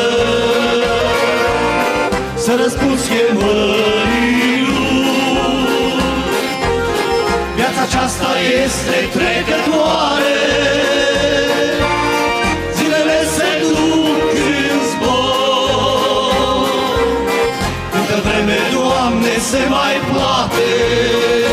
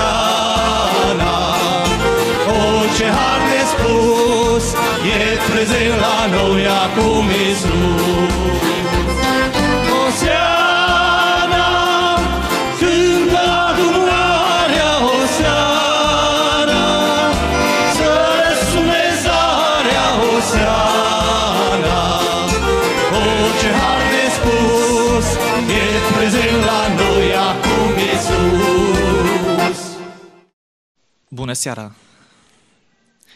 Vreau să vă mai salut cu încă un salut pe care îl găsiți în Sfânta Scriptură și care spune sănătate. Poate că vă gândiți că este doar de la noi, de la români, dar dacă căutați în Biblie, veți găsi acest salut al Apostolului Pavel, sănătate. Și în seara aceasta vă doresc sănătate. Mă numesc Sorin Popovici, sunt din localitatea Dej, acolo și îmi desfășor activitatea de polițist. În cadrul poliției, Poliției Municipiului Dej, în compartimentul Siguranță Publică și Patrulare, adică intervențiile care le vedeți probabil și la dumneavoastră aici în localitate, mașinile de poliție. În domeniul acesta lucrez eu. Motivul pentru care am venit în această seară noi, polițiștii, este să vă slujim, vorbindu-vă despre Dumnezeu și despre Fiul Său, Isus Hristos. Pentru aceasta am ales trei versete din Biblie în cartea 1 Corinteni, în capitolul 1, pe care aș vrea să vi le spun și care doresc totodată să vă tulbure. Și să vă tulbure în sensul bun al cuvântului. Și am să citesc trei versete pe sărite ca să cuprind ceea ce vreau să spun. Fiindcă propovăduirea crucii este o nebunie pentru cei ce sunt pe calea pierzării, dar pentru noi, care suntem pe calea mântuirii, este puterea lui Dumnezeu. Căci întrucât lumea, cu înțelepciunea ei, n-a cunoscut pe Dumnezeu în înțelepciunea lui Dumnezeu, Dumnezeu a găsit cu cale să mântuiască pe credincioși prin nebunia propovăduirii crucii. Căci nebunia lui Dumnezeu este mai înțeleaptă decât oamenii și slăbiciunea lui Dumnezeu este mai tare decât oamenii. Amin. Acestea au fost versetele. Am venit să vă vorbim despre Isus Hristos. Te-ai gândit ce înseamnă propovăduirea crucii?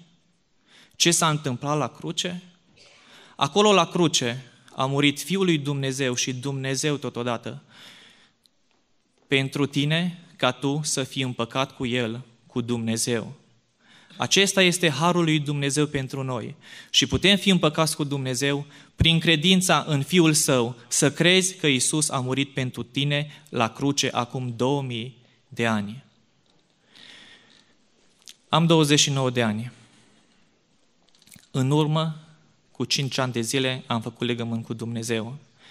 Și când privesc în viața mea în urmă, constat că Dumnezeu m-a căutat dintotdeauna.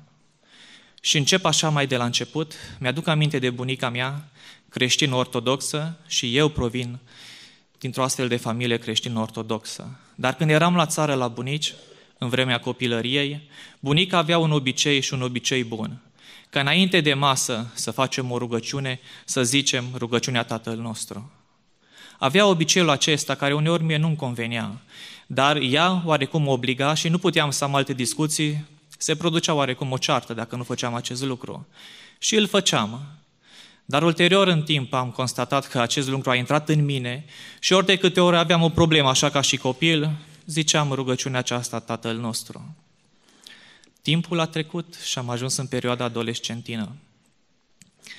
O perioadă cu mari frământări pe care probabil și dumneavoastră ați trăit-o, cu siguranță și unii o trăiesc acum.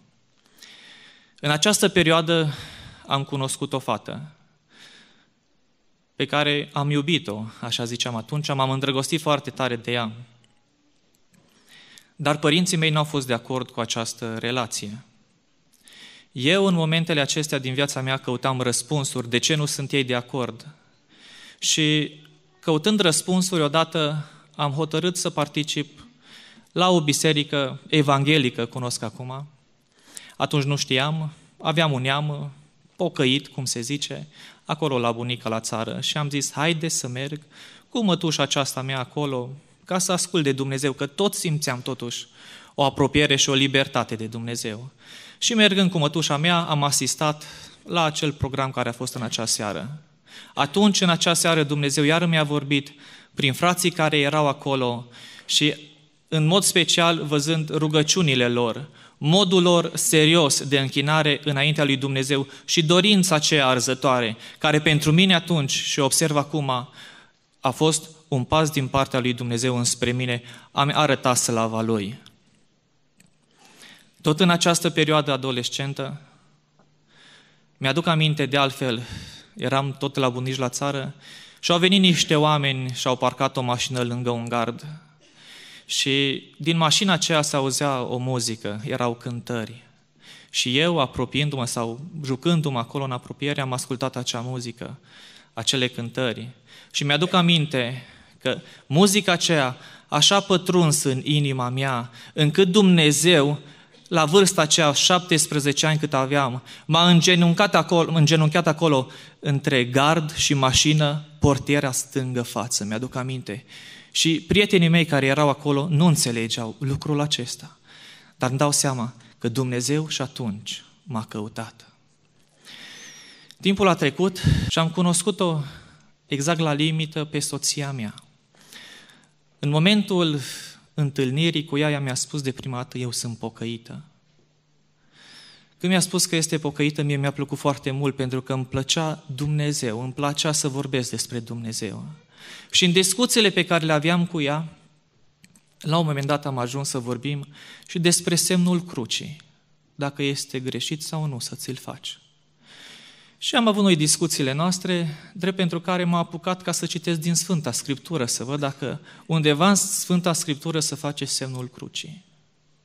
Și uite așa am început să citesc de la început Sfânta Scriptură. Dar pe măsură ce cercetam Scriptura și participam la serviciile divine, acolo, în localitatea de unde sunt, în Dej, Dumnezeu a început să lucreze în ființa mea. Și totodată, punând în aplicare măruntele cuvinte, în ghilimele pot să spun așa, din Biblie, vedeam cum dacă fac un lucru pe care Dumnezeu îl spune, El îl și împlinește pe partea cealaltă. Și pe aceasta a început să se înfiripeze credința mea mai puternică în Dumnezeu, punând în practică ceea ce Dumnezeu îmi cere. Iar într-o seară de evangelizare mi-aduc aminte că a venit un misionar străin. Și atunci l-a propovăduit pe Domnul nostru scump Iisus Hristos. Și a vorbit atât de frumos despre frumusețea Lui, încât m-am predat în mâna Lui și am spus, Doamne, vreau să te slujesc pe Tine. Apoi, timpul a mai trecut și pe data de 13 iunie 2010 am făcut legământ cu Dumnezeu în apa botezului. Dumnezeu m-a biruit, să spun așa, pentru că m-am și lăsat biruit. De aceea, dragi tineri, că sunteți tineri, sunteți probabil și vă confruntați cu problemele perioadei adolescente. Dacă aveți întrebări, căutați și cereți răspunsuri de la oamenii înțelepți în cuvântul lui Dumnezeu. Nu căutați în altă parte. Știu că vă, vă preocupă multe gânduri. Căutați răspunsuri la Dumnezeu și adresați-vă celor înțelepți în cuvântul lui Dumnezeu. Dragi părinți, vorbiți cu copiii dumneavoastră și coborâți-vă la nivelul lor și spuneți-le ce trebuie spus ca să cunoască. Dragi frați și prieteni, încredeți-vă în Dumnezeu mai departe. Prieteni dragi care sunteți aici, acceptați pe Iisus Hristos. Credeți nebunia aceasta că El a fost răstignit pe cruce, după cum spune Scriptura, și veți fi mântuiți. Căci dorința noastră în această seară este ca toți să fiți mântuiți și să ajungem cu toți în împărăția lui Dumnezeu. Prietenii care sunteți aici, poate că aveți un, un rang social mai înalt, sunteți înțelepți și sunteți. Acceptați-L pe Iisus Hristos și veți fi înțelepți cu adevărat. Domnul să vă binecuvânteze. Amin. Pavel, depunând și el mărturisirea, Sfântul Apostol Pavel, într-o împrejurare, a spus că Domnul n-a venit pe pământ Iisus să mântuie pe cei sfinți, ci că pe cei păcătoși, dintre care, zice, cel din tâi sunt eu, zis Pavel. De ce? Pentru că eu am nevoie de iertare, de mântuirea lui Dumnezeu. În împărăția lui Dumnezeu nu va intra nimic întinat și spurcat, nici păcat.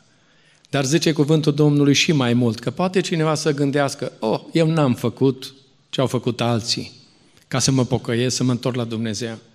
Dar cuvântul Domnului spune, fără pată, fără zbârcitură sau ceva de felul acesta, ci doar sfinți și fără de prihană.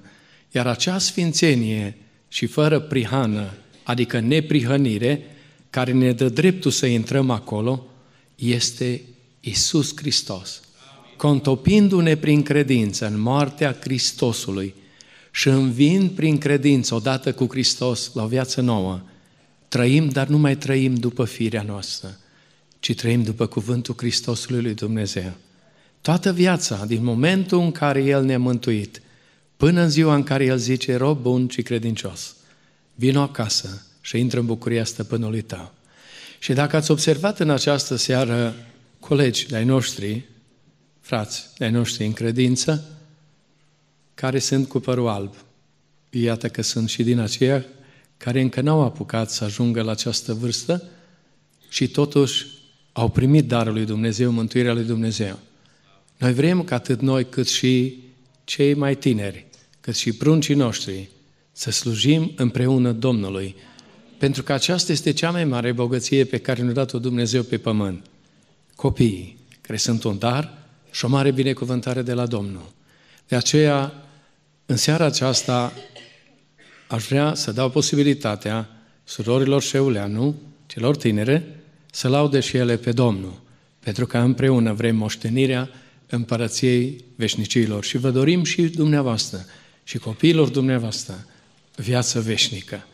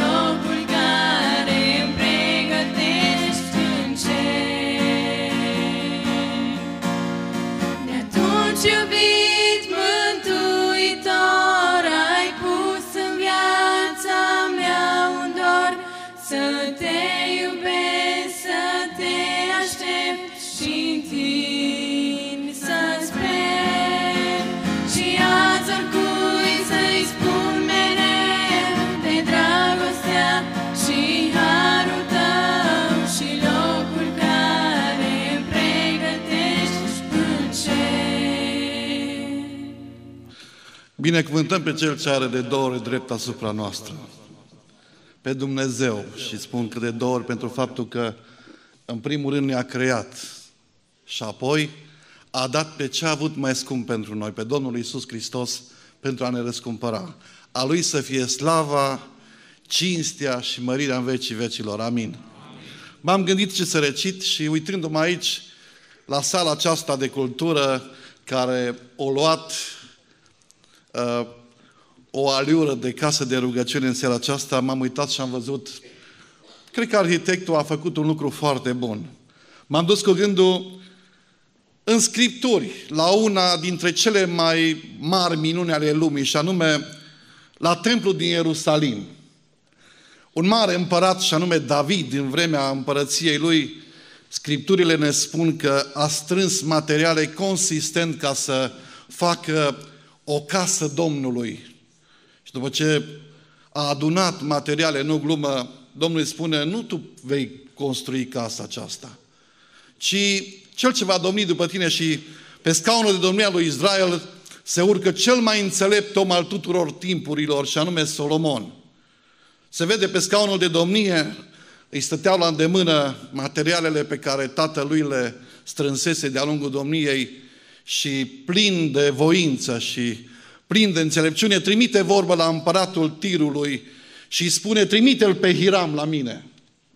Hiram acesta era cel mai vestit meșter al tuturor timpurilor, care era de o iscusință specială, știa să lucre în lemn, știa să lucre în materiale prețioase, știa să cioplească în piatră și a înfăptuit una din cele șapte minuni ale lumii, templu din Ierusalim.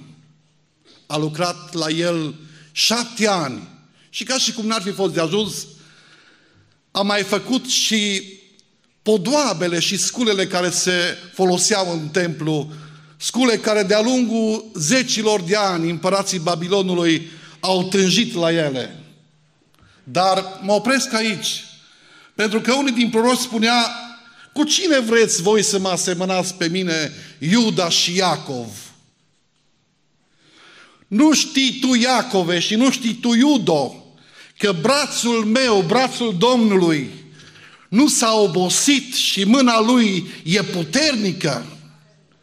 Dacă în Ierusalim un Hiram a făcut una din cele șapte minuni ale lumii în șapte ani, de-a lungul viacurilor este un braț al lui Dumnezeu care lucrează mântuire în viața oamenilor, mărit să fie numele Lui.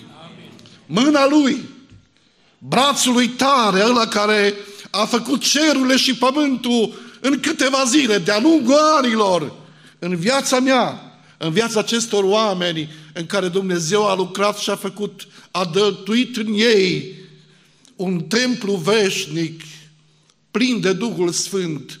Vreau în seara aceasta să-L măresc pe El și a Lui să fie slava. Amin. În suflet mi-au răsărit flori și au înflorit toți trandafirii miresmele lor, mi-au umplut grădinile iubirii. Mi-au răsărit în suflet lor și atâtea crizanteme își răspândesc parfumul lor pe căile eterne. Din inima mea ca de stâncă, izvoare limpezi au pornit, a căror undă cristalină mi-e ca un susur liniștit. Mi-e inima, mi-e inima ca o cetate a cărei porți au fost deschise când am primit în piept iubirea cu care mă pecetluise. Mi-e Duhul, mi-e Duhul de viață ca picurul de rouă în care strălucește un soare uriaș, ce contopește în mine lumini și strălucire cu cântece și doruri ca într-un ceresc locaș. Eu, eu sunt ca o cetate pe munți, reconstruită. Eram odată părăsită, dar a venit un meșter de departe și în fața zidurilor mele dărâmate s-a oprit. Avea priviri înlăcrimate. Privea la zidurile împrăștiate, la porțile cu zdrențe ferecate și la ferestrele de vânturi sparte. Îmi privi apoi și prin odăile cetății și lacrimi mari curgeau din ochii lui peste adânca înfățișare a pustietății. Îmi era, îmi era întuneric în cetate și umbre umede, adânc, spăimântător se mai mișca în miez de noapte. Prin colțurile camerilor reci, păsări de noapte cuibul și-au făcut, iar pe supraguri putrede și rupte îmi era culcușul spurcaților șerpi. Eu, eu sunt ca o cetate pe munți, reconstruită. Eram odată părăsită, dar a venit un meșter de departe și avea cu el avea cu el atâtea bogății și atâtea nestemate, dar unde să le așează și unde să le pună când toată mea cetate mi era doar o ruină?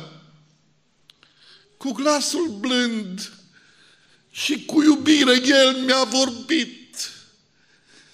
El mi-a vorbit și suspina. Mă voi întoarce doar peste trei zile și atunci, atunci te voi schimba. Plângea Comar și parcă îl văd cum plânge. N-aș fi vroit să plece și, și nu-l puteam lăsa pe frunte. Pe frunte avea sânge și o dragoste în glas, iar printre lucruri sfinte și bogății ce avea pe umeri, purta un lemn sub formă de o cruce și atât de mult și așa de greu l-a păsa, abia l-am înțeles când, suspinând, mi-a spus, mai am de mers până pe deal, acolo sus și apoi, și apoi s-a dus. Eu, eu sunt ca o cetate pe munți, reconstruită. Eram odată părăsită, dar a venit un meșter de departe, cu straile în aur prea schimbate, pe frunte nu mai avea sânge, ci o flacără de foc, ce veșnic nu se stinge. Am biruit pe veci și moartea și păcatul și am toată puterea în cer și pe pământ. Că sus pe dealul căpățânii în luptele ce-am dus, eu sunt biruitorul și meșterul Isus.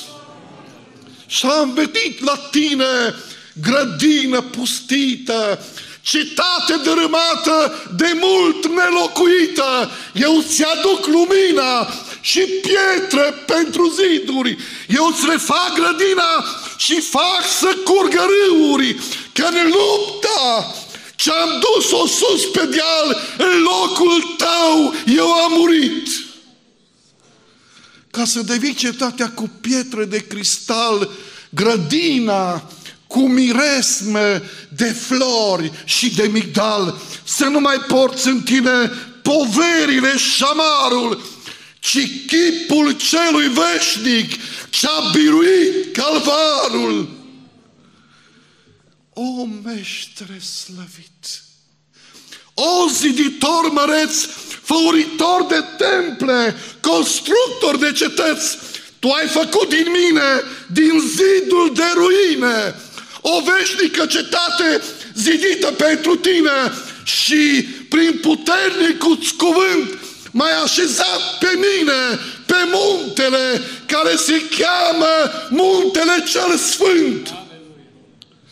O meștere slăvit, o ziditor măreț, făuritor de temple, constructor de cetăți, în jurul meu mai sunt cetăți ruine, oprește-te și în dreptul lor și fă cu toate ce ai făcut cu mine. Amin. Slăvit și binecuvântat să fie Dumnezeu Tatăl nostru, Domnul Isus Hristos și Duhul Sfânt. Iubiți frați și surori, stimați invitați, poate că vă întrebați în seara aceasta cei și cu polițiștii ăștia pe aici. Vreau să vă spun că noi am venit să-L mărturisim pe Iisus Hristos.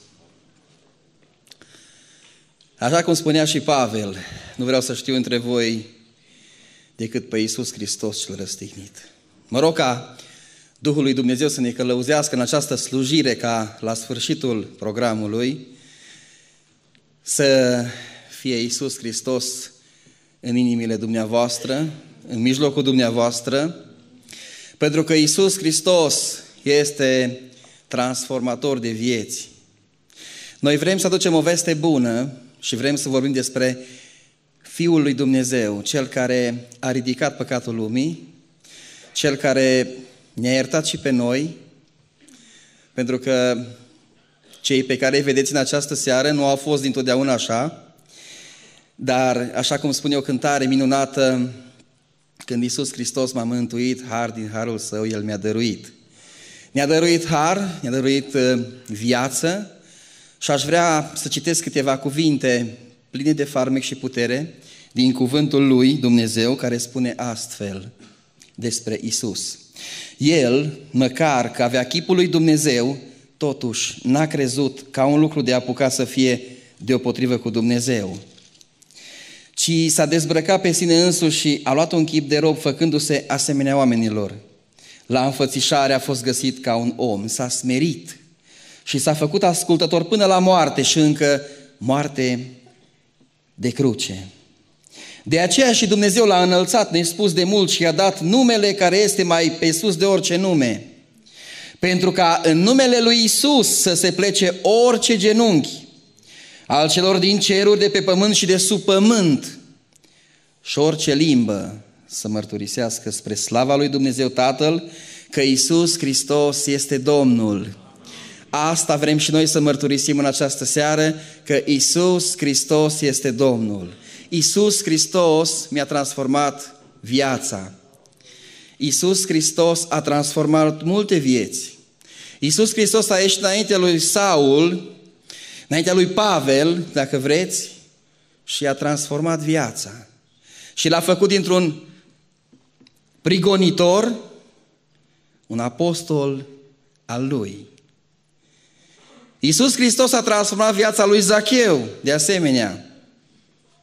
Când i-a spus, dă-te jos de grabă, căci astăzi vreau să rămân în casa ta. Și apoi sigur că acest lucru s-a și văzut și în cazul lui Pavel și în cazul lui Zacheu. Spune Domnul Iisus Hristos, după ce vede și el și ceilalți care erau acolo, transformarea lui Zacheu, care spune că din marele vameșilor, mai marele vameșilor, el se hotărăște să nu mai pună pe primul loc banii, averea, și spune, jumătate din averea mea o dau săracilor. Iar dacă pe cineva am nedreptățit, îl voi răscumpăra împătrit, îi dau înapoi. Aceasta este esența uh, Evangheliei, transformarea omului. Iisus Hristos spunea atunci și spune și astăzi, dacă un om nu se naște din nou, cu niciun chip nu va intra în împărăția lui Dumnezeu, nu va vedea pe Dumnezeu. Vreau să mă prezint, mă numesc Flaviu Cristia și poate că numele meu nu o să îl rețineți dumneavoastră foarte mult timp, dar aș vrea să rețineți ce a lucrat Dumnezeu în viața mea. Lucrez ca și polițist de 22 de ani la Zalău, la Inspectoratul Județean de Poliție și uh, până acum 5 ani de zile căutam și eu ceva. Dar uh, n-am găsit. În schimb a găsit El. Uh, nu am o mărturie în care să mă pot lăuda că l-am primit pe Domnul de bunăvoie și la fel cum a făcut-o sutașul Corneliu, care era un om cu cernic, care era un om plăcut lui Dumnezeu, dar lipsea ceva. De aceea l-a și trimis Iisus Hristos pe Petru ca să-l mărturisească. Orice am face, oricât ne-am strădui, dacă nu-L avem pe Iisus Hristos ca Domn și Mântuitor, dacă nu-L avem pe El ca să ne conducă în viața aceasta, nu avem nimic. Suntem goi și orbi. Dar dacă îl avem pe El, noi însuși suntem în lumină, căci El este lumină. Vreau să vă spun că în cel mai greu moment al vieții mele l-am cunoscut pe Domnul când treceam printr-o mare încercare și foarte pe scurt vă voi spune pentru că ar însemna să stăm foarte mult timp ca să pot să povestesc uh, întreaga, întreaga poveste. Am trecut printr-o mare încercare și, cum vă spuneam, în cel mai greu moment al vieții mele mi-am întors privirile spre Domnul și Domnul m-a ridicat și Domnul m-a întărit și Domnul mi-a dat să înțeleg că mai mult decât durerea prin care treceam, încercarea prin care treceam, El mă vroia să fiu un mântuit al Lui. El mă vroia să fiu un copil al Lui. Am trecut printr-o mare încercare cu copilul meu cel micuț și foarte, foarte greu a fost și mult am suferit. Aveam vești destul de proaste în ceea ce, în ceea ce îl privea din partea uh, terapeuților. Vreau să vă spun că la un moment dat am aflat și ni s-a spus că nu va putea ține în mână nici măcar un creion, nu va putea să mănânce singur. Uh, câțiva specialiști au spus că are unele simptome din spectrul autismului. Ne-am consumat fizic, material, pe la terapii, prin toate locurile. Și la un moment dat m-a auzit o voce și am știut că trebuie să mă pocăiesc. Vreau să vă spun că Dumnezeu a, a trebuit să mă frământe puțin pe vasul lui acolo de lucru, așa cum Olaruș modelează lutul. Nu-mi plăceau pocăiții. Nici măcar nu mi-ar fi plăcut să ascult cuvântul lui Dumnezeu. Fugeam de adevăr, nici nu vreau să ascult. Nu mă interesează. Dar așa frământat și zdrobit cum am fost, am căutat rugăciunea. Nici acum nu știu cum, decât că Dumnezeu, prin Duhul Lui cel Sfânt, m-a călăuzit spre o biserică și acolo cuvântul Lui m-a pătruns. Și apoi Dumnezeu mi-a vorbit. Și Dumnezeu, așa cum auzi o voce în ureche, așa m-a auzit-o și mi-a spus, Flaviule, tu trebuie să te pocăiești, trebuie să dai un exemplu în casa ta, ca tot să te urmeze după aceea pe tine. Și ca să o scurtez, asta am și făcut. A fost o mare nebunie în familia mea și a fost o mare surpriză pentru toți cei care m-au cunoscut. Foarte mulți au crezut săracul prin problemele și prin multele încercări prin care a trecut. Probabil că l-a atins acolo vreo rotiță, dar noi trebuie să fim nebuni pentru Hristos. Și acum am amintit fratele acesta că din, de, dinaintea mea care spunea că propovăduirea crucii pentru neamuri este o nebunie, așa este. Pentru că Iisus spunea, ți-a făcut rău? fă bine. Te-a lovit? Ajută-l. Te-a blestemat, te-a prigonit, roagă-te pentru el. Cu niciun chip nu vom vedea pe Dumnezeu sau împărăția lui Dumnezeu dacă nu vom fi transformați. Îi mulțumesc Domnului că m-a întărit, am încheiat un legământ cu el acum 5 ani de zile, în apa botezului, l-am mărturisit pe Iisus Hristos ca Domnul meu și Mântuitorul meu. Și am luat acest legământ înaintea Lui să-L urmez până la capăt. Îi mulțumesc Domnului pentru că după un an de zile s-a întors și soția mea, s-a întors și fiul meu, care sunt astăzi aici. Îi mulțumesc Domnului că mi-a dat și de lucru în ogorul lui, pentru că aici, dacă vrei cu adevărat, niciodată nu o să rămâi fără servici, în ogorul Domnului. Prin harul și mila Domnului, de doi ani de zile, doi ani jumătate, slujim împreună cu câțiva frați în câteva biserici de etnie romă, ne ocupăm de asistență religioasă la penitenciarul din satul mare și Dumnezeu ne-a dat har din harul său. Este un har să lucrezi pentru Dumnezeu. Sigur că noi mai avem o uniformă, aceea uh, care am primit-o de la statul român. Aceea, la un moment dat, o să o punem jos, să ieșim la pensie. Dar cu Domnul vom fi pentru totdeauna. Vreau să vă îndemn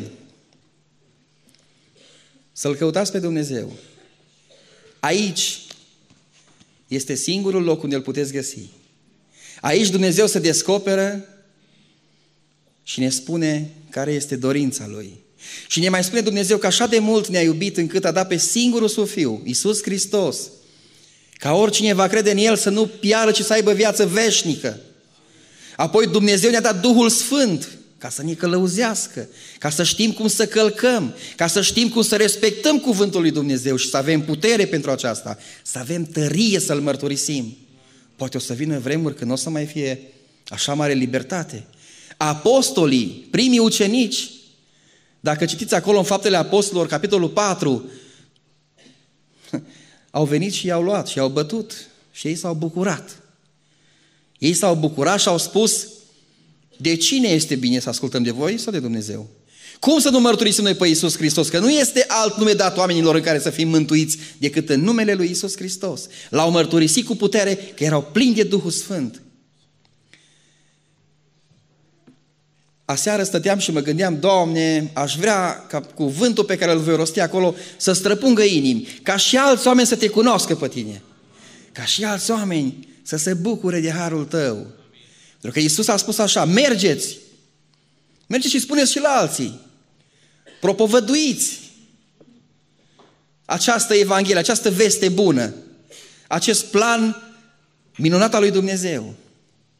Cine va crede și se va boteza, va fi mântuit. Cine nu va fi osândit. Merge și învățați tot ce v-am învățat și eu, spunea prin, cu alte cuvinte, în, alt, în, în altă conjunctură Domnul Iisus Hristos. Și m-aș bucura foarte mult ca dintre dumneavoastră, dintre cei care încă nu l-ați cunoscut pe Domnul, să vă umple El inimile, să fiți plini de pacea Lui. Acea pace pe care numai El o poate da. Și eu am primit această pace. Vă spun, încercările prin care am trecut au fost groaznice. A știut acolo să atingă exact punctul cel mai vulnerabil din viața mea. Nu mi-aș fi întors privirea altfel spre El. Nu. Dar slăvi să fie El. Și El mi-a făgăduit că va lucra și în dreptul meu, și în dreptul casei mele, dar și în dreptul copilului. Astăzi copilașul uh, meu, Matei, vreau să vă spun că nu numai că vorbește, nu numai că ține mână un pic sau un creion pictează, citește, Mare e Dumnezeu nostru. Și lucrează în continuare și în continuare și aceste lucruri ce vi le spun eu sunt lucruri care se pot verifica, nu sunt povești. Dumnezeu să ne ajute și să nu ne rușinăm de El niciodată. Vreau să vă mai rețin încă cu o, uh, câteva, câteva cuvinte și să vă spun că în momentul în care Dumnezeu m-a acceptat într-un mod deosebit și mi-a vorbit despre o juruință pe care am făcut-o și n-am respectat-o. Vă spun, ar fi foarte multe de spus, dar nu este atâta timp. Și Dumnezeu mi-a vorbit la lucrurile pe care le știam decât eu, în inima mea și El. Și sigur că după ce am aflat și după ce El s-a revelat în mod deosebit în, în, în inima mea și în ființa mea, am spus și celorlalți. De aceea suntem și astăzi aici, ca să vă spunem și dumneavoastră. Să îndrăzniți. Puneți-L pe Dumnezeu la încercare. Spuneți-i sincer ce credeți, prin ce treceți. Rugați-L să vină să intervină și vedeți și faceți-o cu o inimă sinceră și veți vedea că El lucrează, decât ca El vrea ca inima noastră să fie sinceră. Nu odată l-am implorat, nu odată l-am rugat, Doamne, intervino, vino, atinge, rezolvă, lucruri pe care nu le puteau face oamenii. Lucruri imposibile. Și Dumnezeu a lucrat. Dumnezeu lucrează și astăzi, cu semne și minuni. Credeți numai. Orice este posibil, spune Domnul Iisus Hristos, celui care crede. Dumnezeu să ne binecuvinteze.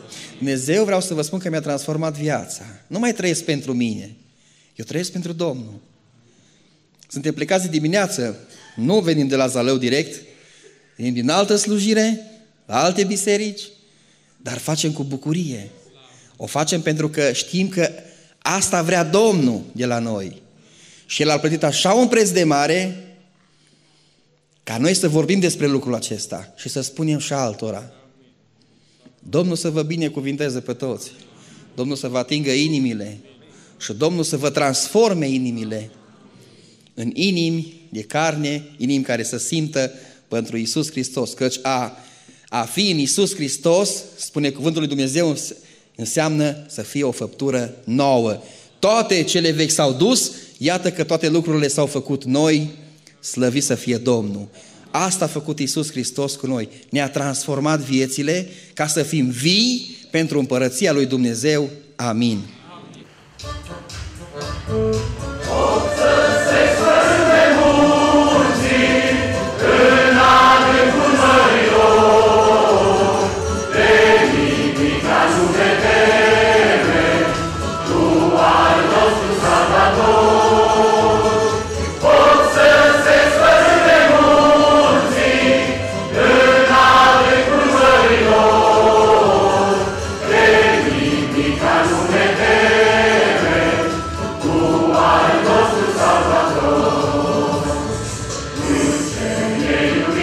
Slăvit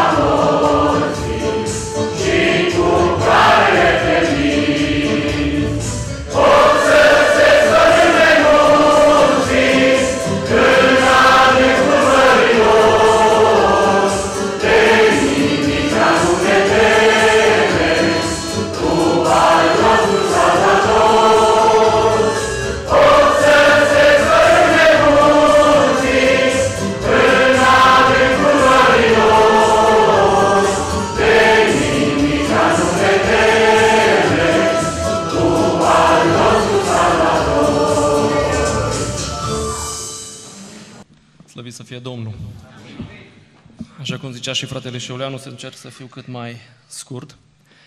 Uh, Mă numesc Laurențiu Crișan, uh, lucrez în cadrul Inspectoratului de Poliție a Județului Cluj încă din anul 2006. M-am născut într-o familie de creștini ortodoxi. Duminică de duminică eram dus de bunicii mei la biserică.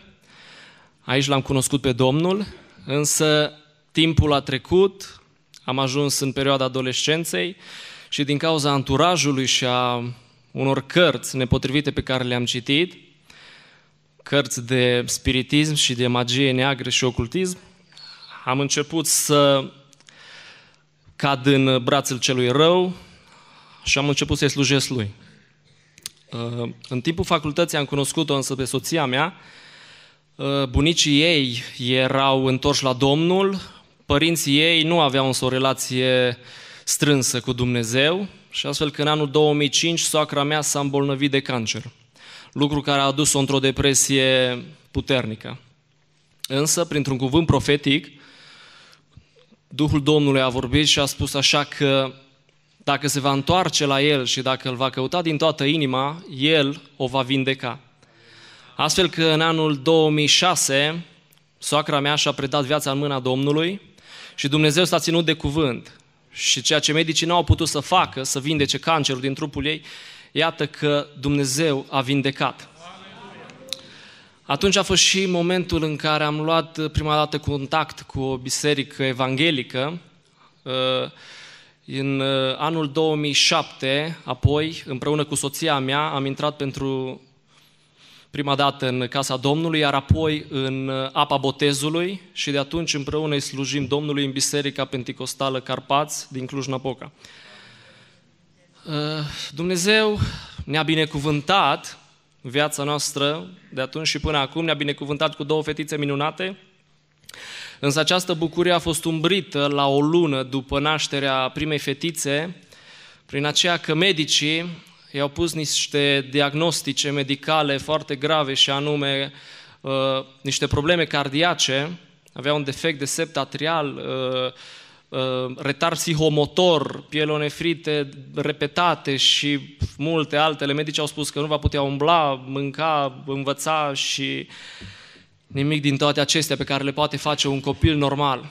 Soția mea a căzut și ea într-o, într-o depresie în momentul acela, dar am știut că Dumnezeu, care a vindecat pe soacra mea, poate să vindece și fetița. Am intrat împreună cu familia în post și rugăciune și printr-un proroc, Duhul Domnului a vorbit și a spus așa, iată, eu sunt medic în cortul tău și eu vindec fără bani și fără plată. Dar iată ce voiesc, vreau inima ta în întregime. Și după trei ani de zile de drumuri pe la medici din toată țara și până și la București, am fost de două ori în, la un spital privat unde erau niște medici specialiști. Uh, În luna august anului 2014, medicii de la Cluj ne-au spus că situația fetiței s-a agravat de așa natură încât trebuie urgent operată. Am plecat cu ea la București și medicii de la același spital la care am mai fost și dățile trecute ne-au întrebat în momentul în care au consultat-o, dumneavoastră sunteți siguri că fetița e bolnavă? Pentru că nu mai are nimic. Inima ei e complet vindecată. Atunci am văzut încă o dată puterea lui Dumnezeu la lucru. Și de atunci încoace, Dumnezeu a început și a lucrat și la restul problemelor ei. Și retardul psihomotor, atâta mai are că încă nu vorbește decât câteva cuvinte, însă în rest le pricepe pe toate. Și așa cum medicii nu le știu pe toate, Dumnezeu însă știe. Dumnezeu știe care e începutul și sfârșitul unui lucru. Și de aceea vreau să vă citesc la sfârșit câteva versete din Scriptură, din cartea prorocului Isaia, unde Dumnezeu spune așa, căutați pe Domnul câtă vreme se poate găsi, chemați-l câtă vreme este aproape, să se lase cel rău de calea lui și omul nelegiuit să se lase de gândurile lui, să se întoarcă la Domnul care va avea milă de el, la Dumnezeul nostru care nu obosește iertând. Amin. Cântarea în ultima strofă spune în felul următor. Și m-am întors la tine, Doamne, iar astăzi sunt un fiu salvat. Eu am gustat din fericirea ce o lasă în suflete iubirea celor pe care i-ai iertat. Isus vine. Că vrem, că nu vrem, Isus vine. Semnele se arată pe cer și în lume și pentru mine a trebuit să treacă 21 de ani, fraților, ca să înțeleg că numai Domnul este Cel care mă poate salva. Eu nu știu dacă dumneavoastră, cei care nu-L cunoașteți pe Domnul, mai aveți 21 de ani la dispoziție. V-aș ruga să meditați profund la acest lucru.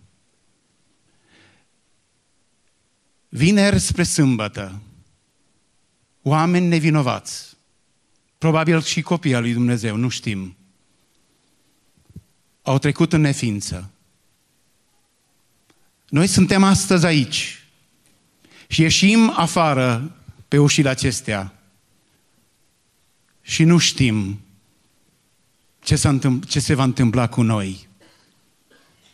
Suntem pregătiți, fraților. Cel care nu-L cunoaște pe Dumnezeu, te-ai gândit la acest lucru, ce se întâmplă cu viața ta? Eu care îl cunosc pe Dumnezeu, îmi doresc din tot sufletul. Nu sunt perfect, fraților, și poate că nici dumneavoastră nu sunteți perfect. Pentru că așa zice Domnul, că nimeni nu este perfect. V-ați gândit că trebuie să veghem și că mințile noastre să fie pline de cuvântul lui Dumnezeu, Duhul lui Dumnezeu să lucreze și în inimile noastre Domnul Isus să fie Cel care domnește și căile noastre să fie alese și să ne gândim să fim lumină, dacă vrem să fim în împărăția lui Dumnezeu. Această cântare este o chemare pentru cei care nu-L cunosc pe Dumnezeu și pentru cei care îl cunosc pe Dumnezeu. Cântarea numărul 5. clipa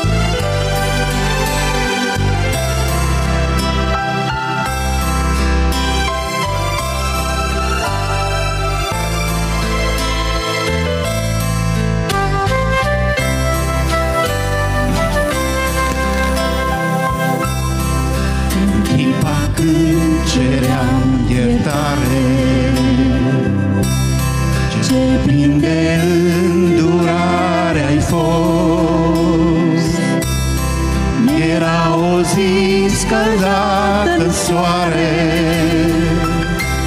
Și mii de raze salvatoare. Dădeau vieții mele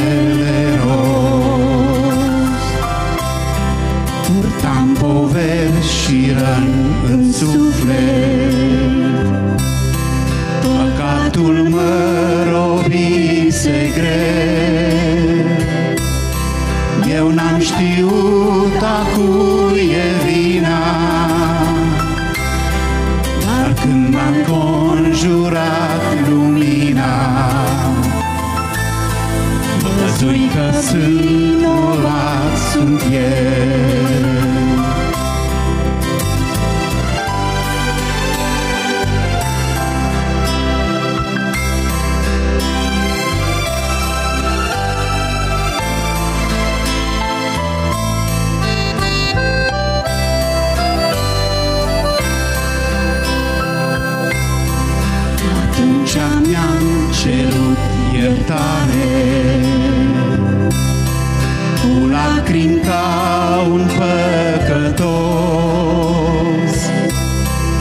Și o ființă plină de îndurare. Străpunsă în mâini și în picioare. S-a plecat spre mine jos. Mi-a dat în torbe de iubire Mesajul Tatălui de sus. În ochi avea mărgăritare Când îmi vorbea despre iertare În fața mea era Isus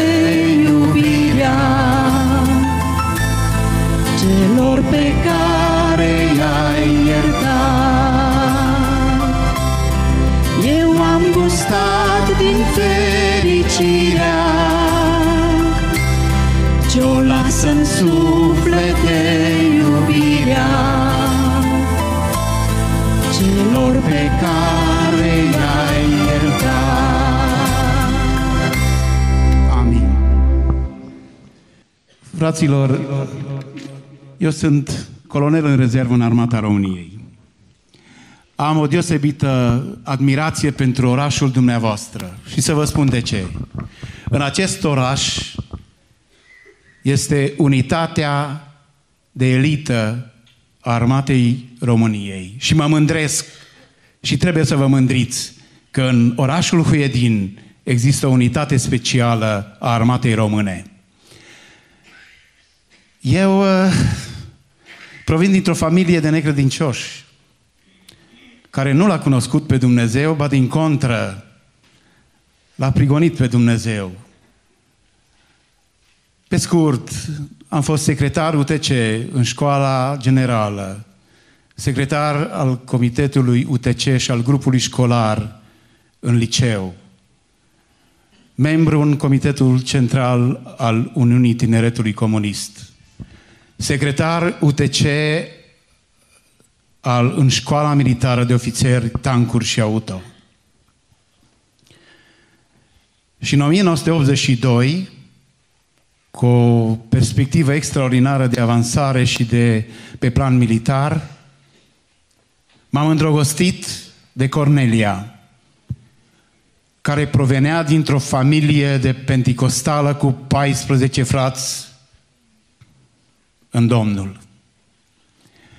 Cei care cunoașteți această situație, vă dați seama în ce situație grea a fost Cornelia, pentru că a căzut în fața lui Dumnezeu și a cuvântului Dumnezeu și în ce situație am fost eu, care aveam o carieră militară și aproape că această carieră militară era să fie sortită eșecului. Mare este bucuria atunci când ai pe cineva care este aproape de tine și se roagă pentru tine. Ne-am căsătorit cu Cornelia și de atunci a început prigoana ofițerului de contrainformații asupra activității mele și fiecare moment era monitorizat al meu și al familiei. Și am început eu prigoana împotriva Corneliei, pentru că eu nu am crezut în Dumnezeu și am fost un ateu convins. Iar în momentul când a venit acasă, în familia mea, în garsoniera unde stăteam, i-am interzis orice literatură care este dedicată lui Dumnezeu. Și în 21 de ani, Dumnezeu, prin rugăciunile Corneliei, a transformat o nucătare care nu l-a cunoscut pe Dumnezeu. Și încet, încet, barieră cu barieră, au fost trecute acestea. Nu avem timp să le povestim. Dar Dumnezeu a lucrat și mi-a demonstrat că nu eu, ci El este stăpânul meu. Și că nu El, eu, ci El îmi guvernează viața. Din toate acestea, fraților, Dumnezeu mi-a pus pe inimă și m-am întors la Dumnezeu. Și acum vreau să vă atrag atenția asupra unui lucru. Știți cine a pierdut din toate acestea? Cei patru copii ai noștri. Sunteți din familii probabil în care unul este întors la Dumnezeu și unul nu este întors la Dumnezeu. Știți foarte bine cât de greu este să educi copiii tăi când sunt doi oameni cu credință și cu concepții diferite. Mă rog Domnului ca Dumnezeu să vă pună pe inimă să faceți pace în familie. Pentru că numai în pace, armonie și dragoste putem să ajungem acolo unde a spus Iosua. Casa mea, toată casa mea, va sluji Domnului. Să ne ajute Dumnezeu pe toți. Pentru prieteni, prieten drag, să te gândești, să vii la El, nu amâna, să-i spui, o Doamne, te iubesc, că viața mea, cu viața mea și inima.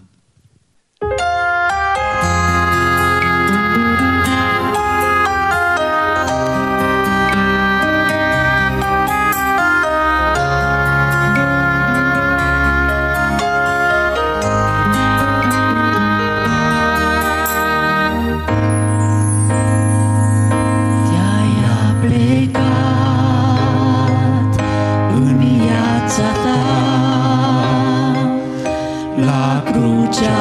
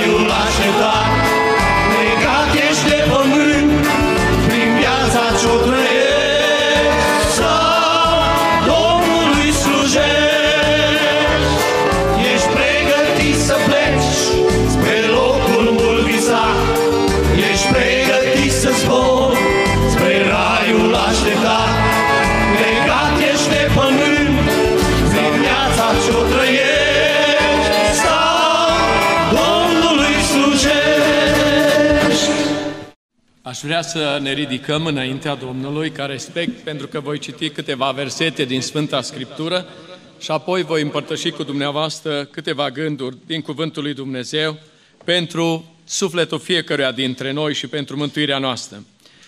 Marcu, capitolul 10, versetul 17 și următoarele. Tocmai când era gata să pornească la drum, a alergat la el un om care a îngenunchiat înaintea lui și l-a întrebat. Bunule învățător, ce să fac ca să-i moștenesc viața veșnică? Pentru ce mă numești bun, i-a zis Iisus. Nimeni nu este bun decât unul singur, Dumnezeu. Cunoști poruncile, să nu prea curvești, să nu ucizi, să nu furi, să nu faci o mărturisire mincinoasă, să nu înșel, să cinstești pe tatăl tău și pe mama ta. El i-a răspuns, învățătorule, toate aceste lucruri le-am păzit cu grijă din tinerețea mea. Iisus s-a uitat țintă la el, l-a iubit și i-a zis, îți lipsește un lucru. Du-te de vinde tot ce ai, dă la săraci și vei avea co- o comoară în cer. Apoi vino, ia crucea și urmează-mă. Mâhnit de aceste cuvinte, omul acesta a plecat întristat de tot, căci avea multe avuții. Iisus a uitat în prejurul lui și a zis ucenicilor săi, cât de a nevoie vor intra în împărăția lui Dumnezeu cei ce au avuții. Ucenicii au rămas uimiți de cuvintele lui. Iisus a luat din nou cuvântul și le-a zis, Fiilor, cât de a nevoie este pentru cei ce se încred în bogății să intre în împărăția lui Dumnezeu. Mai ales ne este să treacă o cămilă prin urechile unui ac decât să intre un om bogat în împărăția lui Dumnezeu. Ucenicii au rămas și mai uimiți și au zis unii către alții, cine poate atunci să fie mântuit? Iisus s-a uitat țintă la ei și le-a zis, lucrul acesta este cu neputință la oameni, dar nu la Dumnezeu, pentru că toate lucrurile sunt cu putință la Dumnezeu. Amin. Vă rog să vă așezați, iubiții mei. Dragii mei, frați și surori, stimați prieteni și invitați scumpi, cuvântul din seara aceasta, eu l-am intitulat textul sau mesajul din seara aceasta, nu rata șansa mântuirii tale. Ce fel de mesaj a vrut să transmită Mântuitorul acestui tânăr? Dacă am condensat întregul mesaj într-o singură afirmație, aceasta cred că ar fi conform la Evanghelia după Luca, capitolul 14, versetul 33, în care scrie astfel. Tot așa, oricare dintre voi care nu se leapădă de tot ce are, nu poate să fie ucenicul meu, a zis Domnul Isus. Domnul Isus Hristos a pus acest tânăr la un examen, la un test. Și de asemenea ne va pune și pe noi la acest examen și la acest test în seara aceasta. Vom vedea ce s-a întâmplat cu tânărul și din ceea ce am auzit, am putut să ne dăm seama și să ajungem la concluzia că acest tânăr a căzut la examen. Oare noi ce vom face în această seară? Doamne, ajută-ne să nu cădem la examenul Tău, pentru că numai luând examenul Tău, Doamne, putem să ajungem în împărăția Ta. Tânărul, dragii mei, a căzut. Oare noi ce vom face în această seară? Ce vom hotărâ în urma auzirii Evangheliei Domnului Iisus Hristos? Vom primi sau vom respinge darul lui Dumnezeu, care este mântuirea și viața veșnică pe care Tatăl a rânduit-o într-unul singur în Hristos Iisus, Fiul Său prea iubit. Doamne milă și ajută-ne să luăm decizia corectă. Dacă până acum nu am luat-o, să o luăm în această seară. Dacă până acum am luat decizia și am intrat în mântuire, să rămânem acolo în Hristos până El va veni și ne va lua acasă pe fiecare. Nu este important, iubiților, nu este important ce a crezut acest tânăr, deoarece n-a fost gata să renunțe la tot ce este și tot ce are pentru Domnul Isus Hristos. Domnul Iisus Hristos într-o împrejurare spune căutați mai întâi împărăția lui Dumnezeu și neprihănirea lui Dumnezeu. Și ce caută toate neamurile din jurul nostru? Ce mânca, îmbrăca, cu alte cuvinte, a te realiza. El îți dă suplimentar, zice Dumnezeu. Dar mai întâi ne împărăția și neprihănirea lui Dumnezeu trebuie să fie primordială și esențială în viața noastră. Și zic, Doamne, ajută-ne pe aceasta. Termenul, dragii mei, de viață veșnică este menționat în Sfânta Scriptură de cel puțin 50 de ori și are sau face referință, mai concret spus, la întreaga experiență, dragii mei, cu privire la mântuire. Evangelizare, convertire prin credința în Fiul lui Dumnezeu, apoi, dragii mei, slujirea Hristosului lui Dumnezeu. Fiindcă creștinismul nu-i religie, dat în tradiții, forme, dogme, seturi de reguli, de interdicții, cum spun unii, ci creștinismul, dragii mei, a zis Mântuitorul, este un mod de viață. Cine crede în mine, a zis Isus, va trăi așa cum trăiesc eu. Doamne Isus, ajută-ne să trăim așa cum trăiești Tu pentru că astfel, Doamne, să avem parte de viața Ta dumnezească. Ce s-a întâmplat cu acest tânăr sau care sunt uh, uh, pașii pe care tânărul acesta i-a făcut, dragii mei, apropiindu-se de Domnul Isus? În primul rând, dragii mei, subliniez faptul că acest tânăr a avut o motivație corectă a venit să caute viață veșnică. Era conștient, domnule, nu am viață veșnică. Cuvântul lui Dumnezeu spune că era fruntaș, era un om bogat, cu poziție socială, cu influență, cu autoritate. Și cu toate acestea el nu avea liniște, el nu avea pace, el nu avea siguranța mântuirii și că are viața veșnică. Era conștient că îi lipsește ceva. Și lucrul acesta el a considerat că e cel mai important și în adevăr este cel mai important, să ai, să dobândești și să ai viața veșnică. Căci, dragii mei, viața veșnică, spune cuvântul lui Dumnezeu, că nu este doar o promisiune a vieții viitoare care este viață veșnică, ci și calitatea vieții caracteristice celor mântuiți aici pe pământ. Să trăiești cu Hristos și prin Hristos în fiecare zi, în fiecare ceas și în fiecare clipă, conform cuvântului Său cel Sfânt. Și mă rog ca Bunul Dumnezeu să ne ajute pe toți la aceasta. Acest tânăr, dragii mei, din punct de vedere spiritual, din ceea ce rezultă din textul acesta, am putea conchide că depășește cu mult Fariseii, mari preoți, învățătorii legii a vremii aceleia, dragii mei, care se automulțumeau cu starea lor de neprihănire. El vroia viața veșnică, acea părtășie intimă, acea relație de tată-fiu, acea relație de tată-fiu, dragii mei. Și el a vrut să o dobândească. A făcut apoi pasul al doilea.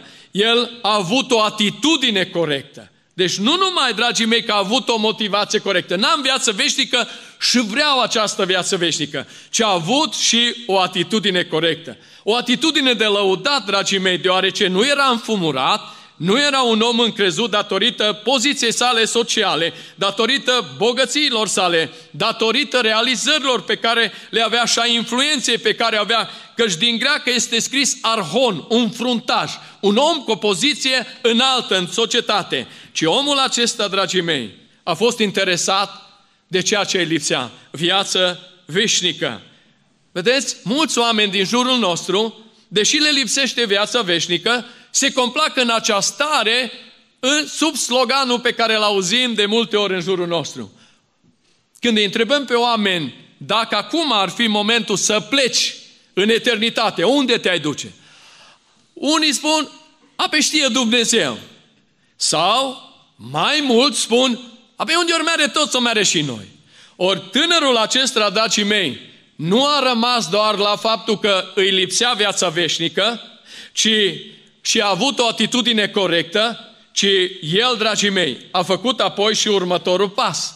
Un pas foarte interesant, dragii mei. El s-a dus la sursa corectă de unde poate dobândi viața veșnică. Omul acesta i-a surprins pe cei care erau în jurul Domnului Isus Hristos, fiindcă iată expresia folosită, tocmai când era gata să plece Domnul Isus din locul acela, a venit acest tânăr bogat, dragii mei, acest fruntaș și nu i-a păsat de ce vor judeca ceilalți cu privire la atitudinea lui. El a trecut prin mulțime, s-a dus în fața Mântuitorului conștient că numai unul singur poate să dăruiască viața veșnică și în adevăr numai unul singur poate, Dumnezeu. Și s-a plecat acolo la picioarele Domnului, o atitudine corectă, dragii mei. Și nu i-a păsat, oare ce ori zice vecinii, ce ori zice semnii mei? Ați auzit din mărturiile fraților noștri, polițiști, pompieri, jandari, poliție de frontieră, penitenciare și alte structuri de autoritate din armată. Dragii mei, ce le-a păsat acestui tânăr ca și nouă de mântuirea sufletului nostru. De ceea ce spune Dumnezeu. Aceea trebuie să ne pesă. Ce spune Dumnezeu despre noi? Pentru că este singurul care ne poate mântui de păcatele noastre, ne poate sfinți viața și ne poate duce în împărăția sa slăvită și zicem, Doamne, dăruiește-ne această viață slăvită a Ta. A venit la sursa corectă. Nu a venit la un păstor, nu a venit la un evanghelist, nu a venit la un preot, ci a venit la însăși sursa vieții veșnice, căci El, Hristos, este învierea și viața veșnică. Slăvit să fie Domnul! Un Ioan, la capitolul 5, versetul 11, este scris și mărturisirea este aceasta. Dumnezeu ne-a dat viață veșnică și această viață este în Fiul Său, Hristos Domnul. Slăvit să fie Domnul! Acesta este singurul loc corect, unde noi oamenii putem să dobândim viață veșnică prin credința în Fiul lui Dumnezeu, slăvit să fie Domnul. Apoi acest tânăr, dragii mei, a mai făcut încă un pas, dragii mei, a parcurs încă o etapă. Și următoarea etapă este aceasta. El a pus întrebarea corectă. Nu am viață veșnică, am o atitudine corectă, mă duc la sursa, la singura sursă care este viață veșnică și care poate să-mi dăruiască această viață veșnică și a pus întrebarea corectă. Este? Ce bine să fac? Interesant, nu-i așa? Tânărul acesta, ca și mulți oameni, și din zilele noastre chiar, nu numai de pe vremea Domnului Isus Hristos, era orientat spre fapte. Deoarece religia lui de atunci, cât și multă religie din zilele noastre creștină, învață prin legea preoțească că omul trebuie să facă fapte bune. Și el era înclinat spre a face fapte bune ca să dobândească favoarea lui Dumnezeu. Așa credea el că în felul acesta, făcând fapte bune, o să-l determine pe Dumnezeu într-o zi să-l primească în rai. Și mulți dintre colegii noștri gândesc la fel. O, oh, am făcut eu multe rele, Am făcut fapte și am greșit de multe ori, dar am făcut și fapte bune, m-am străduit și de Paști și de Crăciun și milostenii și așa și le pune Dumnezeu în cântar și atunci mă va primi dacă cântăresc mai mult alea bune. Dar dacă nu cântăresc, dar dacă te-ai uitat în Sfânta Scriptură unde Dumnezeu spune că toate faptele noastre bune sunt ca o haină mânjită de sânge înaintea lui Dumnezeu. Pentru că și cuvântul Domnului din seara asta și de aici din Scriptură ne arată că tânărul acesta a fost confruntat cu însăși legea lui Dumnezeu pe care avea pretenția că încă din anii tinereții el o păzește. Cu alte cuvinte, el îi spune Mântuitorului, care știa tot ce este în ființa umană, că el era Dumnezeu întrupat, zice Sfântul Apostol Pavel, Tatăl a vrut ca în Hristos să locuiască toată plinătatea Dumnezeirii. Și când Iisus ridică legea, în fața lui și spune, auzi, îți lipsește ceva dacă vrei să fii mântuit. Uite care, ce să faci.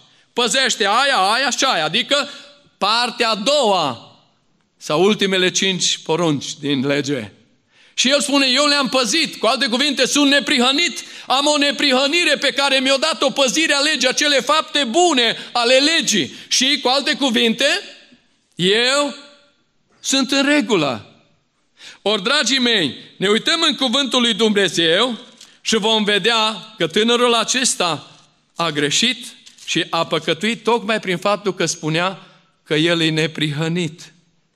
Oh, sunt mulți care spun, oh, n-am stricat casa la nimeni, n-am omorât pe nimeni, să se pocăiască criminalii, să se pocăiască cei ce ucid copiii în pântecele mamilor, devalizează bani, să închină la, la uh, tot felul de lucruri neîngăduite, cheamă duhurile morților și câte și mai câte, cei care ucid și tâlhăresc și violatori și ei, eu sunt un om bun, eu păzesc legea lui Dumnezeu, în fiecare zi mă străduiesc să fac lucrul acesta.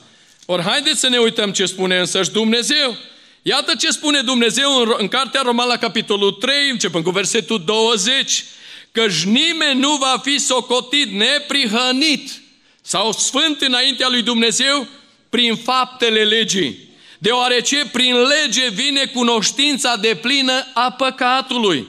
Dar acum, zice Dumnezeu, s-a arătat o neprihănire sau sfințire pe care o dă Dumnezeu fără lege, despre a mărturisesc legea și prorocii, dragii mei, din Sfânta Scriptură, și anume, neprihănirea sau sfințirea dată de Dumnezeu, care vine prin credința în Isus Hristos.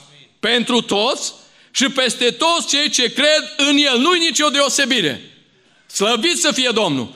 Deci, degeaba să țin unii de denominația mea, de religia mea, de legile, obiceiurile și tradițiile mele strămoșești. Doar unul singur poate să ne dea adevărata și unica sfințire sau neprihănire în baza căruia Tatăl ne iartă, avem pace cu Dumnezeu prin sângele Fiului Său cel Sfânt Iisus Hristos Domnul. Fiindcă nimeni în afară de Fiul Dumnezeului Celui Preanalt n-a murit pe crucea din Golgota pentru noi, decât El, Dumnezeu întrupat în Hristos Domnul și numai în numele Lui căpătăm iertarea, mântuirea și viața veșnică, slăvit să fie numele Lui Dumnezeu. Tânărul a falimentat. Dumneata, ce vei face în această seară, iubitul meu prieten? Dezbracă religii, forme, tradiții, obiceiuri și îmbracă-te în Hristosul lui Dumnezeu. Mulți dintre semenii noștri spun, oh, aș vrea și eu să fiu iertat de păcate, vreau pe Iisus ca mântuitor. Dar El vrea să fie Domnul tău și Dumnezeul tău. El vrea să fie Domnul meu și Dumnezeul meu. Și așa de mult mă bucur că mântuirea între neamuri a început cu un om al autorității și încurajez astfel pe colegii mei, pe cei înălțați în dregătorii, de la președinte și până la cei care pun în executare și în aplicare legile statului român, să ne întoarcem cu pocăință la Dumnezeu, pentru că mântuirea a început cu un om al autorității. Omul acesta despre care ați auzit, Cornelius, ostaș, era un om cucernic, temător de Dumnezeu, păze legea lui Dumnezeu. Și totuși îi lipsea ceva ca să fie mântuit. Și când a venit Petru, nu i-a spus, știi, câte rugăciuni, câte posturi, câte milostenii, câte de alea. Zice, ce ai făcut? Astea Dumnezeu le știe. Dar dacă vrei să fii mântuit, îți trebuie ceva. Și astfel și îngerul când l-a trimis să, la, să trimită după Petru, după apostolul Petru și să-i spună ce? Cuvinte prin care va fi mântuit el și toată casa lui. Deci nu i-a spus să facă altceva decât să asculte, da. De ce? Fiindcă credința mântuitoare, dragii mei, vine în urma auzirii cuvântului lui Hristos. Scrie în cuvântul lui Dumnezeu lucrul acesta atât de minunat, în uh, Roman, dragii mei, capitolul 10, în același timp spune cuvântul Domnului, căci credința vine în urma auzirii și auzirea vine prin cuvântul lui Hristos. Și sincer, iubiții mei, îi impropriu a spune, acceptă-L pe Iisus în viața ta. Nu, nu, nu. Nu, nu. Dumnezeu spune că noi trebuie să credem în Fiul lui Dumnezeu. Și când credem în Fiul lui Dumnezeu, e ca la noi la militar. El comandă, comandantul suprem, și noi executăm ce spune Dumnezeu. Pentru că prin Hristos Domnul, legea nu a fost desfințată cum pretind unii, ci iată ce spune cuvântul lui Dumnezeu și aceasta găsim tot în cartea Romani. Cuvântul Domnului spune așa, Acum, dar nu-i nicio osândire pentru cei ce sunt al lui Isus Hristos, care nu mai trăiesc după îndemnurile firii pământești, ci după îndemnurile Duhului Sfânt al lui Dumnezeu. Legea Duhului de viață în Hristos mai izbăvit de legea păcatului și a morții. Adică prin sângele lui Isus, Dumnezeu mă eliberează nu numai de păcat, ci și de dorința, voința și puterea de a mai păcătui vreodată. Îmi dă acea putere să mă păzesc fără să trăiesc, fără să fac păcat. Slăvit să fie Domnul. Și spune cuvântul Domnului, zice, cu lucru, lucru cu neputință legii, fiindcă firea noastră, noi ne-am născut în Adam, și cuvântul Domnului spune că noi venim în existența umană, venim ca și păcătoși, nu venim, ne naștem creștini. Lucrul acesta este o teologie falsă care o propovăduiesc unii. Noi de 2000 de ani românii naștem creștini. Nu! Datorită păcatului adamic, în care noi eram în Adam, când păcatul a intrat prin Adam, a intrat în întreaga lume păcatul și prin păcat moartea a trecut asupra noastră a tuturor. Zice Psalmul 51, fără de lege și păcat m-a zămislit mama. Când mă nasc, mă nasc cu păcatul în mine. Și din pricina acestui păcat nu pot să trăiesc legea sfântă. Și din pricina aceasta Dumnezeu a trimis, zice cuvântul Domnului așa de minunat, Dumnezeu a osândit păcatul în firea pământească, trimițând din pricina păcatului pe însăși Fiul Său, într-o fire asemănătoare cu a păcatului, pentru ca porunca legii să fie împlinită în noi, care trăim nu după îndemnurile firii, ci după îndemnurile Duhului lui Dumnezeu. Slăvit să fie Domnul!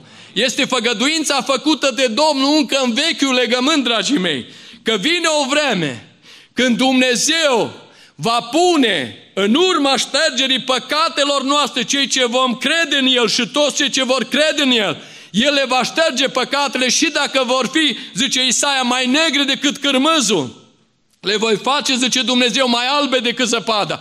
Le arunc în marea uitării, nu mai mi-aduc aminte de ele. Și voi lua legile mele și poruncile mele, le voi așeza în inima lor, în sufletul lor, în mintea lor. Eu voi fi Dumnezeul lor și ei vor fi copiii mei, zice Dumnezeu, slăvit să fie Domnul.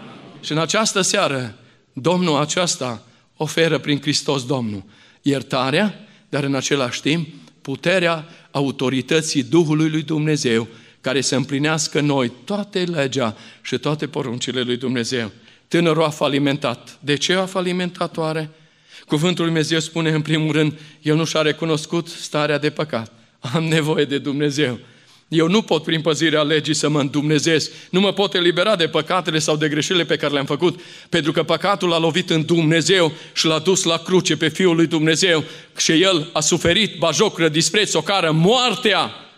Schingiuirea aceea groaznică, dragii mei, pentru că în urma acestei jerfe să vadă o sămânță de urmaș, fii al lui Dumnezeu născuți din Dumnezeu.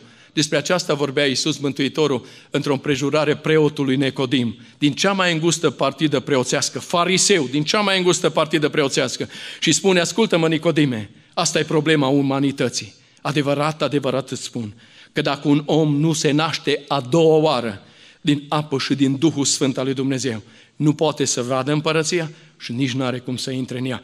Pentru că ce e fire păcătoasă n-are cum să intre în viața dumnezească ca e sfântă. Dumnezeu, dragii mei, nu-i de trei ori sfânt, cum spun unii, ci sfânt veșnic mărit să fie Domnul. Și El vrea ca toți pruncii săi să fie ca El, să semene. Și pentru aceasta trebuie în primul rând să recunosc, Doamne, nu am viață veșnică, în viața mea din copilărie și până în momentul când am auzit Evanghelia, nu odată am greșit, nu odată am călcat cuvântul Tău. Doamne, și aceasta te-a dus pe Tine la moarte în locul meu.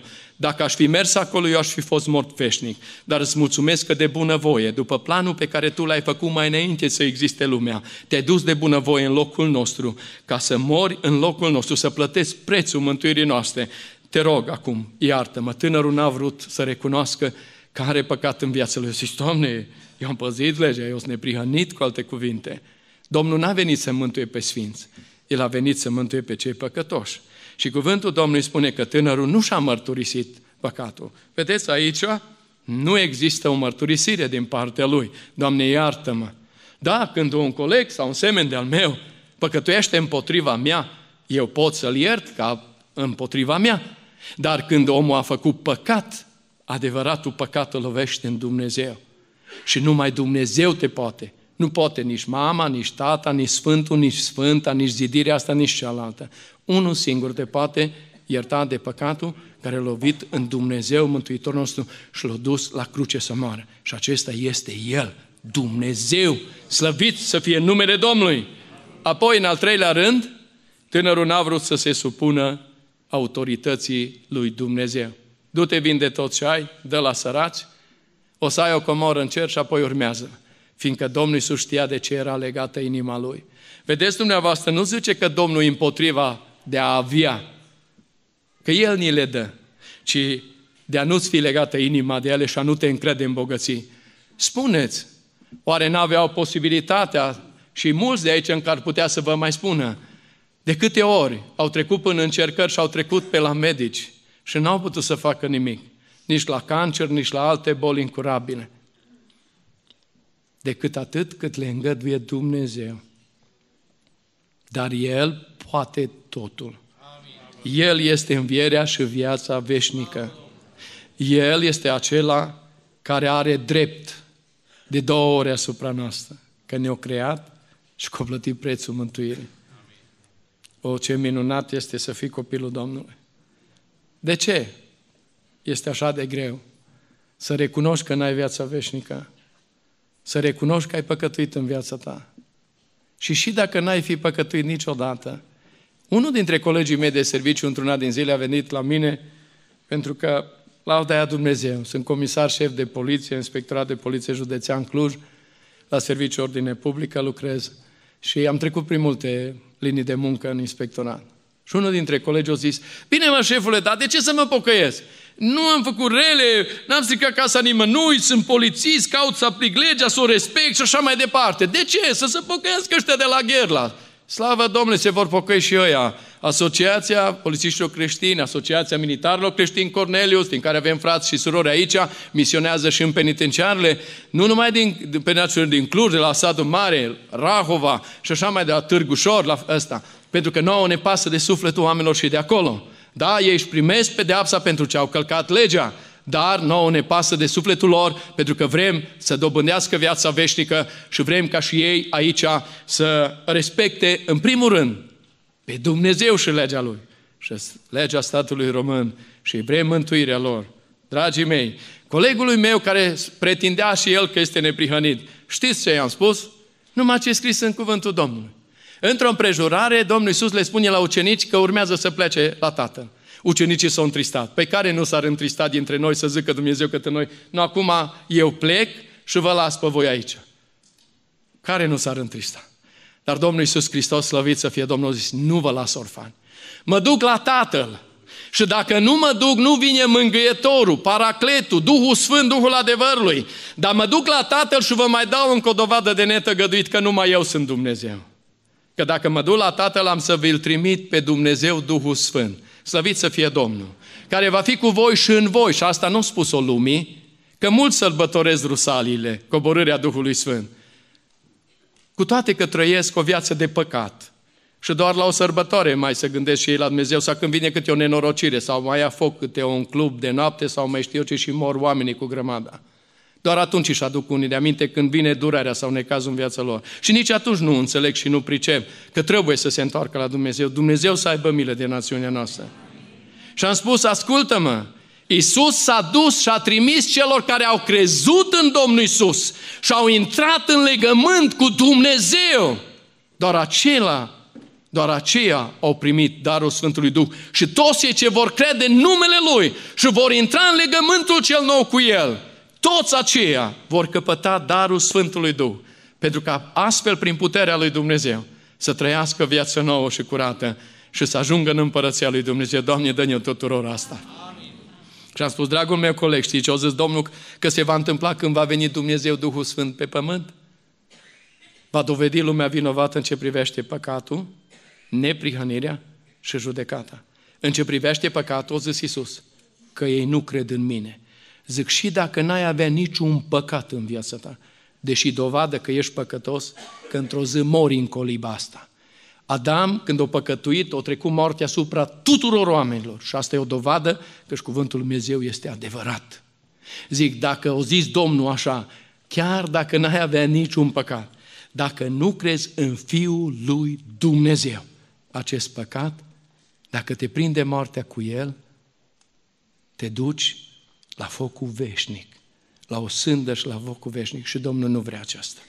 El și-a dat viața pe crucea din Golgota, pentru ca oricine va crede în numele Lui să capete iertarea, mântuirea și viața veșnică, să capete o natură nouă, dumnezeiască, să capete acea putere din Dumnezeu, Duhul Sfânt, ca să trăiască conform cuvântului lui Dumnezeu.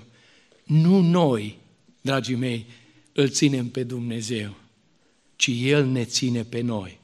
Iisus a spus, oile mele sunt mâna mea, nimeni și nimic nu le poate smulge din mâna mea. Eu le dau viață din belșug, zice Domnul. Slăvit să fie Dumnezeu. De aceea îndemnăm pe oameni, pe frați, pe prieteni, să fim ceea ce Dumnezeu dorește să fim. Copii, ascultători și împlinitori a Cuvântului lui Dumnezeu, credincioși toată viața, clipă de clipă, până când stăpânul zice, rob bun și credincios. Vino acasă, intră în bucuria stăpânului tău, intră în împărăția care ți-a fost pregătită de tătucul Sfânt din ceruri, mai înainte de a fi în temerea lumii. Doamne ajută-ne, Doamne dă-ne izbândă și ne ajută pe fiecare să facem acest pas, o Doamne, să ne împăcăm cu Tatăl din ceruri prin credința în Fiul lui Dumnezeu, căci e scris și sângele lui Isus ne curățește de orice ce păcat și ne ajută astfel să trăim prin El viața Lui spre slava și spre gloria Domnului.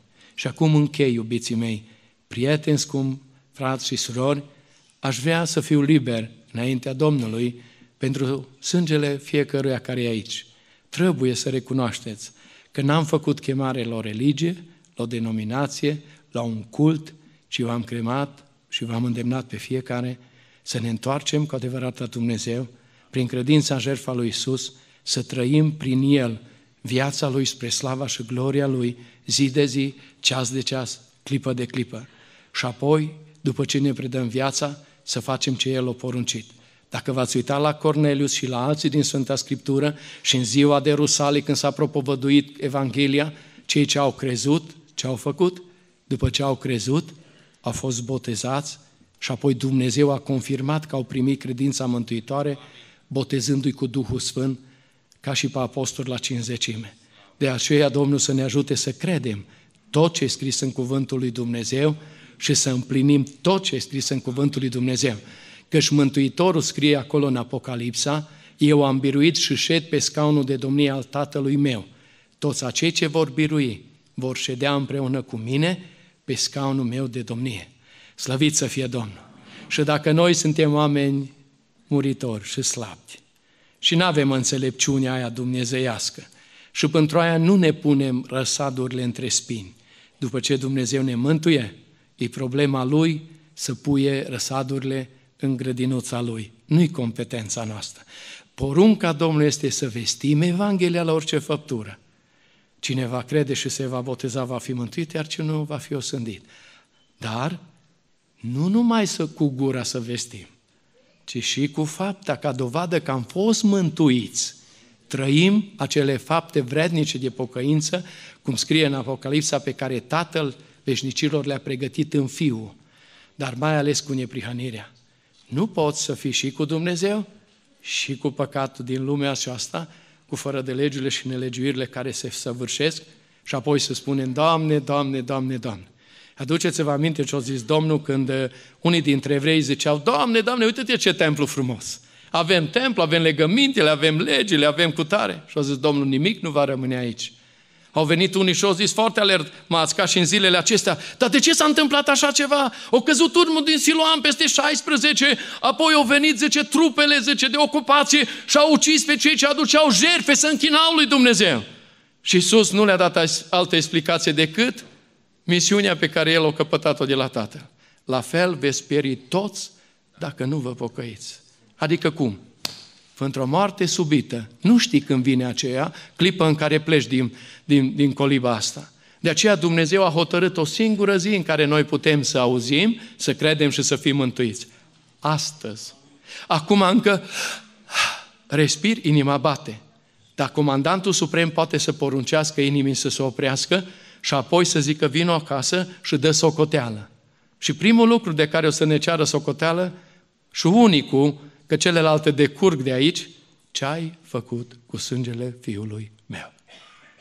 L-ai primit? Dacă l-ai primit, ai trăit ca și el, urmându-l pe el în fiecare zi, ceas și clipă. Dacă l-ai respins, singur te-ai respins de la mântuire. Uitați-vă în Scriptură, nicăieri nu scrie că iadul a fost făcut pentru om, ci pentru diavol și pentru slujitorii lui. Ori omul prin păcat și dacă rămâne legat de păcat, se duce dincolo la judecată, la foc și la o sândă veșnică. Și Isus vorbește despre acestea, viermele lor cu privire la sufletul lor. Nu moare niciodată, ci să chinuie în vecii vecilor. Pentru ce să pierzi asta? Pentru ce? Când Domnul îți dă gratis, să iei păcatul meu, fără de legea mea, nelegiuirea mea, moartea mea, putreziciunea mea, o sânda mea, focul care mi se cuvenea din pricina păcatului, focul veșnic. Și în schimb, să-ți dăruiască pace, să-ți dăruiască o, o dignă sufletului tău, să-ți dăruiască viața sa de Dumnezeu, să-ți dăruiască împărăția sa de Dumnezeu. O, ce minunat! Cum să nu renunț atunci la gunoaiele lumii acestea? Iertați în cuvântul acesta dur. Omul așa să înfingem pământul acesta, de parcă n-ar trebui să stea într-o zi în fața celui sfânt. Și unii să calcă în picioare la Revoluție, dragii mei, până acolo au venit unii și au sfințit tunuri, tancuri, au făcut mitraliere și creștini de 2000 de ani să ucideau între ei și am zis, Doamne, scapă-ne și ai milă de națiunea aceasta. O, sunt atâtea lucruri pe care Dumnezeu le osândește în națiunea noastră. Dumnezeu să se îndure și să ne întoarcem cu toată inima la Dumnezeu. Dacă vrem binecuvântare aici și vrem și dincolo. Doamne ajută-ne! Doamne, dă-ne biruință fiecăruia și îți mulțumim din toată inima pentru Hristos Domnul, căci în El ne-ai rânduit pe toți să avem viață veșnică. Amin. Acum am vrea în încheiere să ne ridicăm cu toții și să dăm slavă Domnului. Vom cânta împreună cu corul uh, cântarea a cincea, un cor îngeresc și apoi vom mulțumi lui Dumnezeu prin fratele Dumitru și Dumnezeu să binecuvânteze pentru toată organizarea și tot sprijinul pe care l-am primit. Dumnezeu să vă binecuvânteze și pe dumneavoastră, pe toți, pentru toată participarea și mă rog în numele Domnului ca din această clipă, fiecare dintre dumneavoastră, să mergeți cu Domnul Isus Hristos în viața dumneavoastră, în familia dumneavoastră, între rudele dumneavoastră, în societatea aceasta, în națiunea aceasta și Domnul să dea mântuirea tuturor. Amin.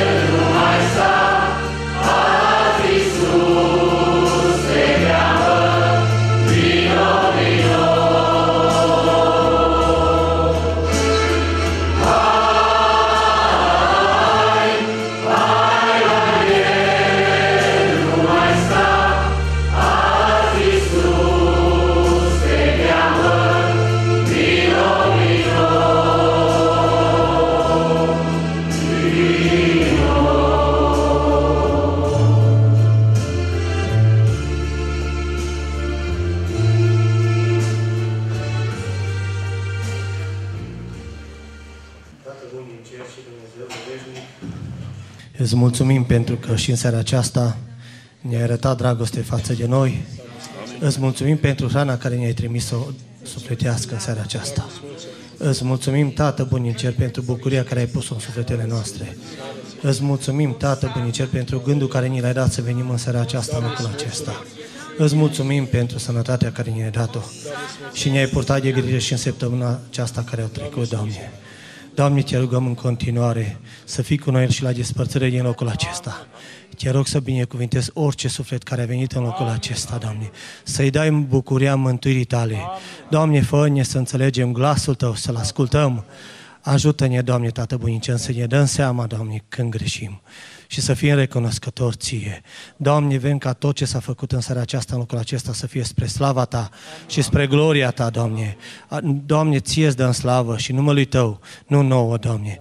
Te rog să le răsplătești celor care s-au ostenit, Doamne, pentru seara aceasta, ca să avem condiții aici, Doamne. Avem director, directorul acestei săli, te rog să-l binecuvintezi în special, care ne-a oferit prilejul ca să ne putem aduna în locul acesta. Doamne, avem pe ceilalți colaboratori ai dânsului, Doamne. Avem, Doamne, pe fratele Florin, avem pe fratele Petrică, Doamne, ai milă de tot poporul Tău, Doamne. Te rog să binecuvintezi, Doamne, pe toți cei care au venit în locul acesta, Doamne, să le dai încă o dată bucuria mântuirii Tale. Ajută-ne ca la despățări din locul acesta să fim călăuziți de Duhul Tău ce Sfânt, Doamne. Fii Tu cu noi, cu fiecare și la despărțire din locul acesta. A Tău numele slăvim, Tată, de acum și până în veci de veci. Amin.